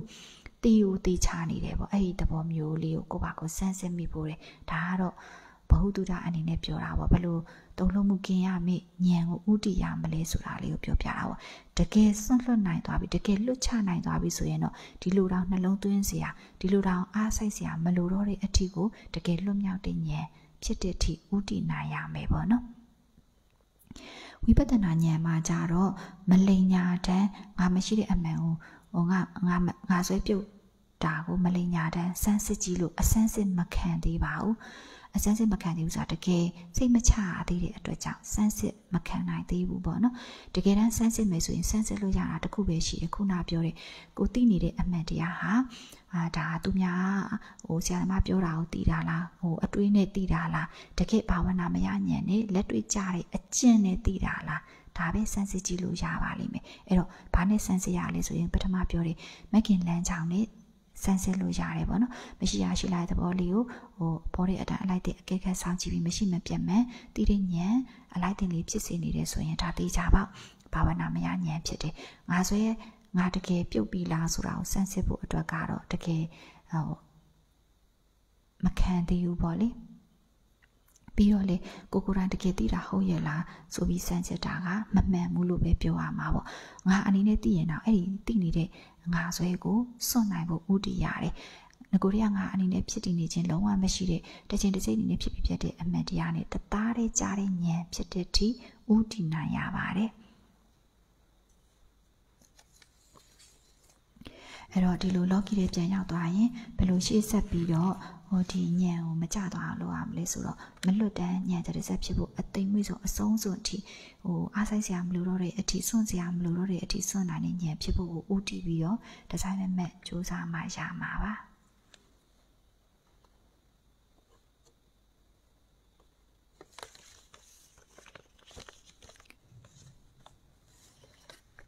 နောက်မိကွန်းတစ်ခုကကြတော့ဆရာလေးပြတပြီးတော့တရားရှုမှတ်နေစဉ်နောက်စိတ်မှ လိုက်ပြီးဆရာလုံနေပြီးစကားများပြောနေပါသည်ဗျာဘယ်လိုလုပ်ပြီးရှုမှတ်ရပါမလဲဗျာတိမ်ပြီးတော့စိတ်ဆိုးဒီမှာဘယ်လိုစိတ်မျိုးပါလဲဗျာ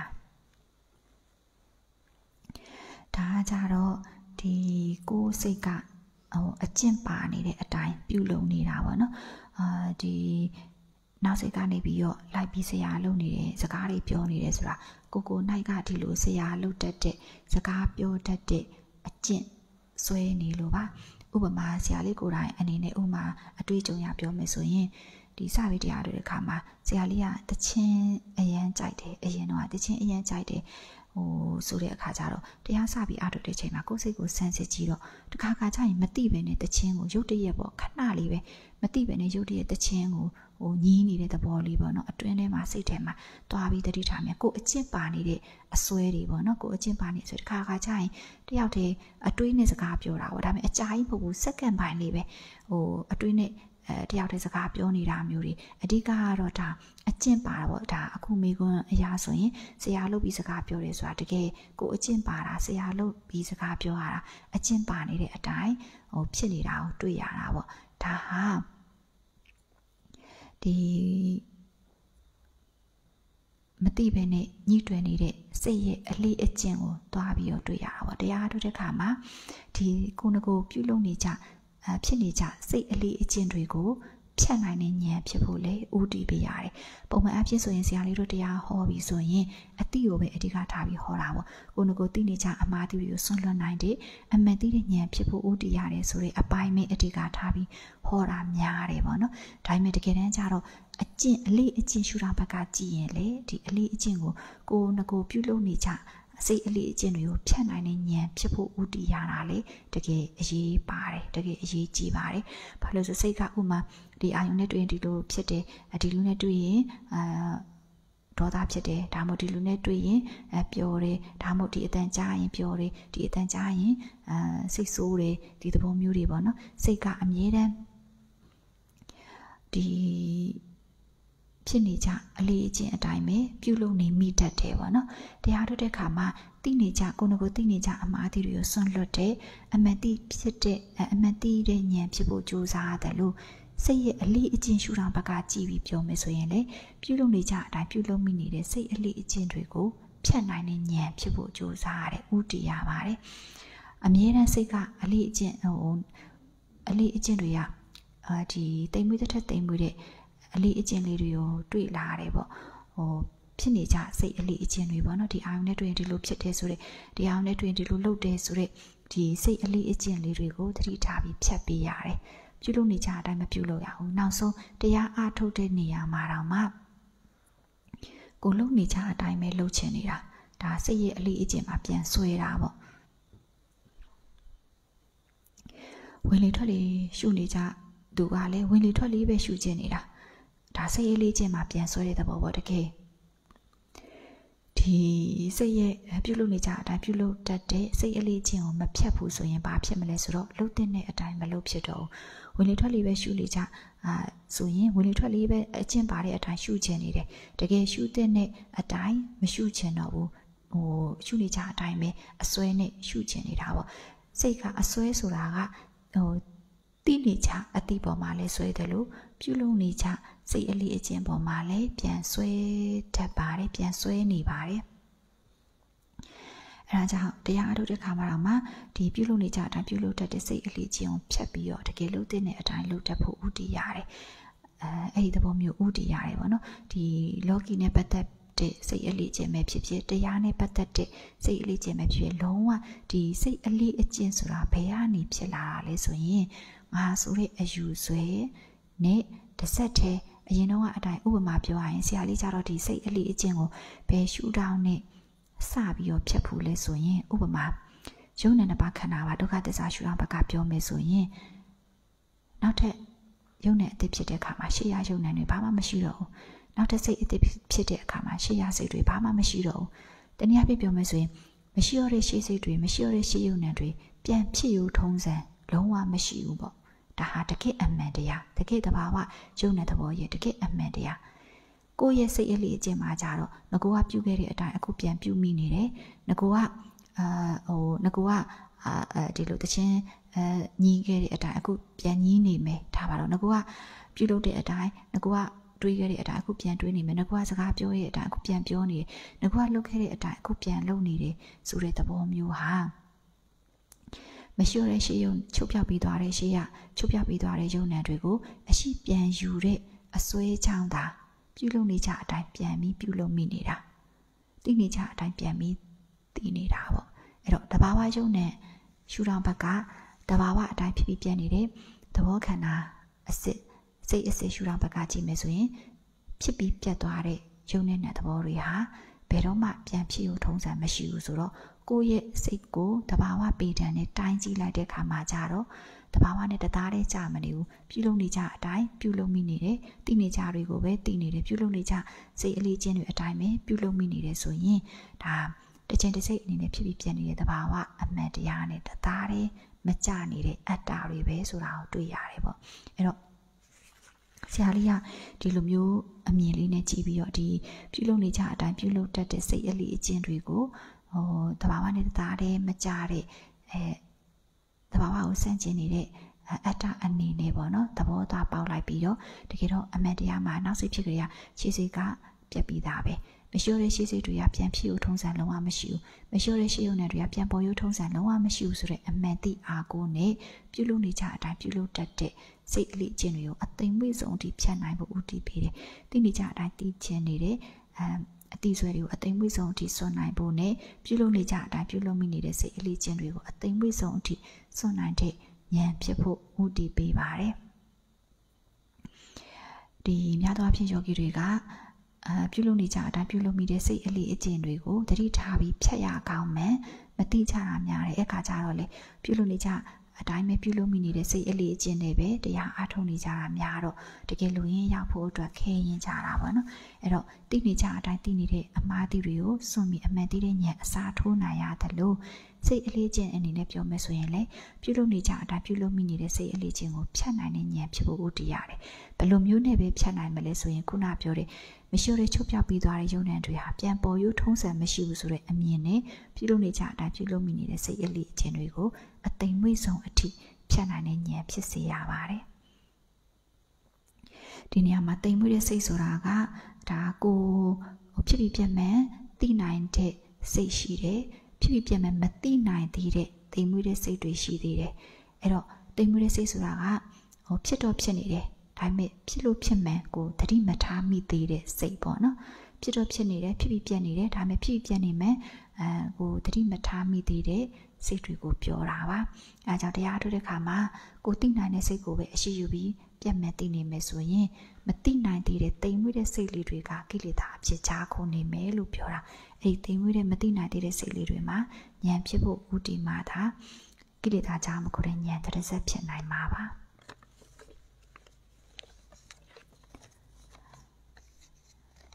နောက်ဆုံးမိကွန်းတစ်ခုက စိတ်တစ်ခုဖြစ်ကြောင်းကိုအဘိဓမ္မာနည်းနဲ့တရုပ်ခွဲတဲ့အခါမှာရတဲ့ကုသိုလ်စိတ်နဲ့စိတ်ကိုအနတ္တဘက်ဆောင်ပြီးပြီးအနိစ္စ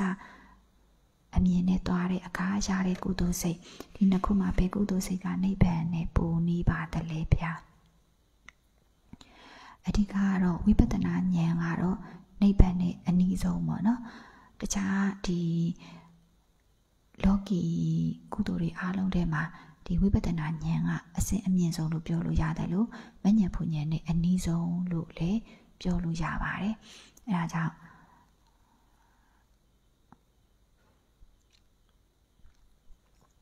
စိတ်ကိုအနတ္တဘက်ဆောင်ပြီးပြီးတော့အနိစ္စအမြင်နဲ့မရှိမပြတ်မဲ့တည်တဲ့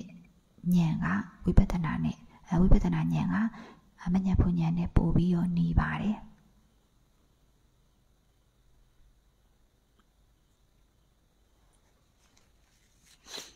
ဘာကြောင့်လဲဆိုတော့ဆရာလေးမနက်က white book nation ပြတဲ့အထဲမှာလည်းပါပြီးသားပေါ့နော်ပရမတ္ထသစ္စာတရား၄ပါးရှုထောင့်ဘက်ကနေကြည့်ပြီးပြောမယ်ဆိုရင်တကယ်တမ်းနိဗ္ဗာန်ကိုမျက်မှောက်ပြုပြုတယ်ဆိုတဲ့သဘောတရားကဖြစ်ဖြစ်ပြက်နေတဲ့စိတ်စစ်တည်းရုပ်သဘောရဲ့အနိစ္စဒုက္ခအနတ္တလက္ခဏာအမှန်သိတော်မှသာအဲ့ဒီသဘောကိုအဲ့ဒီသဘောဆွေကိုစွန့်နိုင်တဲ့အခါကြတော့မှမဖြစ်မပြတ်တဲ့နိဗ္ဗာန်သဘောဘက်ကိုလှည့်တဲ့ဉာဏ်ဖြစ်တာပေါ့နော်ဟိုစွန့်နေဆိုတဲ့နေရာမှာတော့မှအာဒီ ပိုက်ဆိုင်မှုတွေကိုစွန့်တာအိမ်ကိုစွန့်ပြီးရိတ်တာဝင်တာဒီလိုစွန့်လွတ်တာမျိုးတွေကတကယ်ပရမတ်ကိုစွန့်တာမဟုတ်သေးတဲ့အတွက်ကြောင့်မဖြစ်မပြတ်တဲ့နိဗ္ဗာန်သဘောဘက်ကိုလှည့်တဲ့ဉာဏ်တော့မဖြစ်သေးဘူးအထောက်ပံ့တော့ဖြစ်စေတာပေါ့ကျန်တဲ့ကုသိုလ်တွေကလည်းဒီဟိုစွန့်လွတ်တဲ့ ဉာဏ်ဖြစ်ဖို့အတွက်အထောက်ပံ့ဖြစ်စေတယ်ဆိုပြီးပဲအနည်းဆက်ဆုံးအနိကဆုံးဆွလွတ်မှုကတော့ဝိပဿနာဉာဏ်ကအနိကဆုံးဆွလွတ်မှုပေါ့။ဘာကြောင့်လဲဆိုဝိပဿနာဉာဏ်ကကြတော့တကယ်ဖြစ်ဖြစ်ပြနေတဲ့ပရမတ်ဆွဲကိုစွန့်နိုင်စေတဲ့ဉာဏ်မို့လို့ပါ။တကယ်ဖြစ်ဖြစ်ပြနေတဲ့ပရမတ်ဆွဲကိုမရှိမပြတ်မဲ့သိချင်အဖြစ်စွန့်နိုင်တဲ့ဉာဏ်ဖြစ်တော့မှလေမဖြစ်မပြတ်တဲ့နိဗ္ဗာန်သဘောဘက်ကိုလှည့်တဲ့မဉဏ်ဖူဉဏ်ပေါ်နိုင်မှာပေါ့။ နှိုင်းရှင်စရာအနေနဲ့ပြောမယ်ဆိုရင်သင်္ကတနယ်နဲ့အသင်္ကတနယ်အနေနဲ့နှိုင်းရှင်စရာအနေနဲ့ပြောမယ်ဆိုရင်သင်္ကတနယ်ကလေပရမတ်သဘောပဲပရမတ်စိတ်စစ်တဲ့ရုပ်သဘောပေါ့နော်အသင်္ကတနယ်ကလေသဘောပဲပရမတ်သဘောပဲမဖြစ်မပြတ်တဲ့နိဗ္ဗာန်သဘောပေါ့လေနော်အဲ့တော့ဒီဖြစ်ဖြစ်ပြတ်တဲ့စိတ်စစ်တဲ့ရုပ်သဘောကိုစွန့်နိုင်မှသာဒီပရမတ်သဘောကိုစွန့်နိုင်မှသာဖြစ်ဖြစ်ပြတ်တဲ့စိတ်စစ်တဲ့ရုပ် သဘောပရမတ်ကိုစွန့်နိုင်သဘောပရမတ်ဆွဲကိုစွန့်နိုင်မှသာမဖြစ်မပြတ်တဲ့နိဗ္ဗာန်သဘောဘက်ကိုလှည့်တဲ့ဉာဏ်ဖြစ်မယ်ပေါ့စိတ်စိတ်တည်းရုပ်ဆိုတဲ့ပရမတ်အသိမွေ့ဆုံးပရမတ်သဘောဆွဲကိုမစွန့်နိုင်ဘဲနဲ့ဘယ်နည်းနဲ့မှမဖြစ်မပြတ်တဲ့နိဗ္ဗာန်ပရမတ်သဘောဘက်ကိုလှည့်တဲ့ဉာဏ်ဘယ်နည်းနဲ့မှကိုမဖြစ်နိုင်သေးဘူးဘလောက်ပဲဘာတွေကိုစွန့်နေပြောပြောငါအယူစွန့်နေဘလောက်ပဲပြောပြောဘာတွေကိုဘလို့ပဲစွန့်စွန့်တကယ်ဖြစ်ပြနေတဲ့ပရမတ်ယုံတဲ့သဘောကိုစွန့်မှသာမဖြစ်မပြတ်တဲ့နိဗ္ဗာန်သဘောဘက်ကို လှည့်တဲ့ဉာဏ်သိကြပေါက်ဖြစ်နိုင်မှာပါ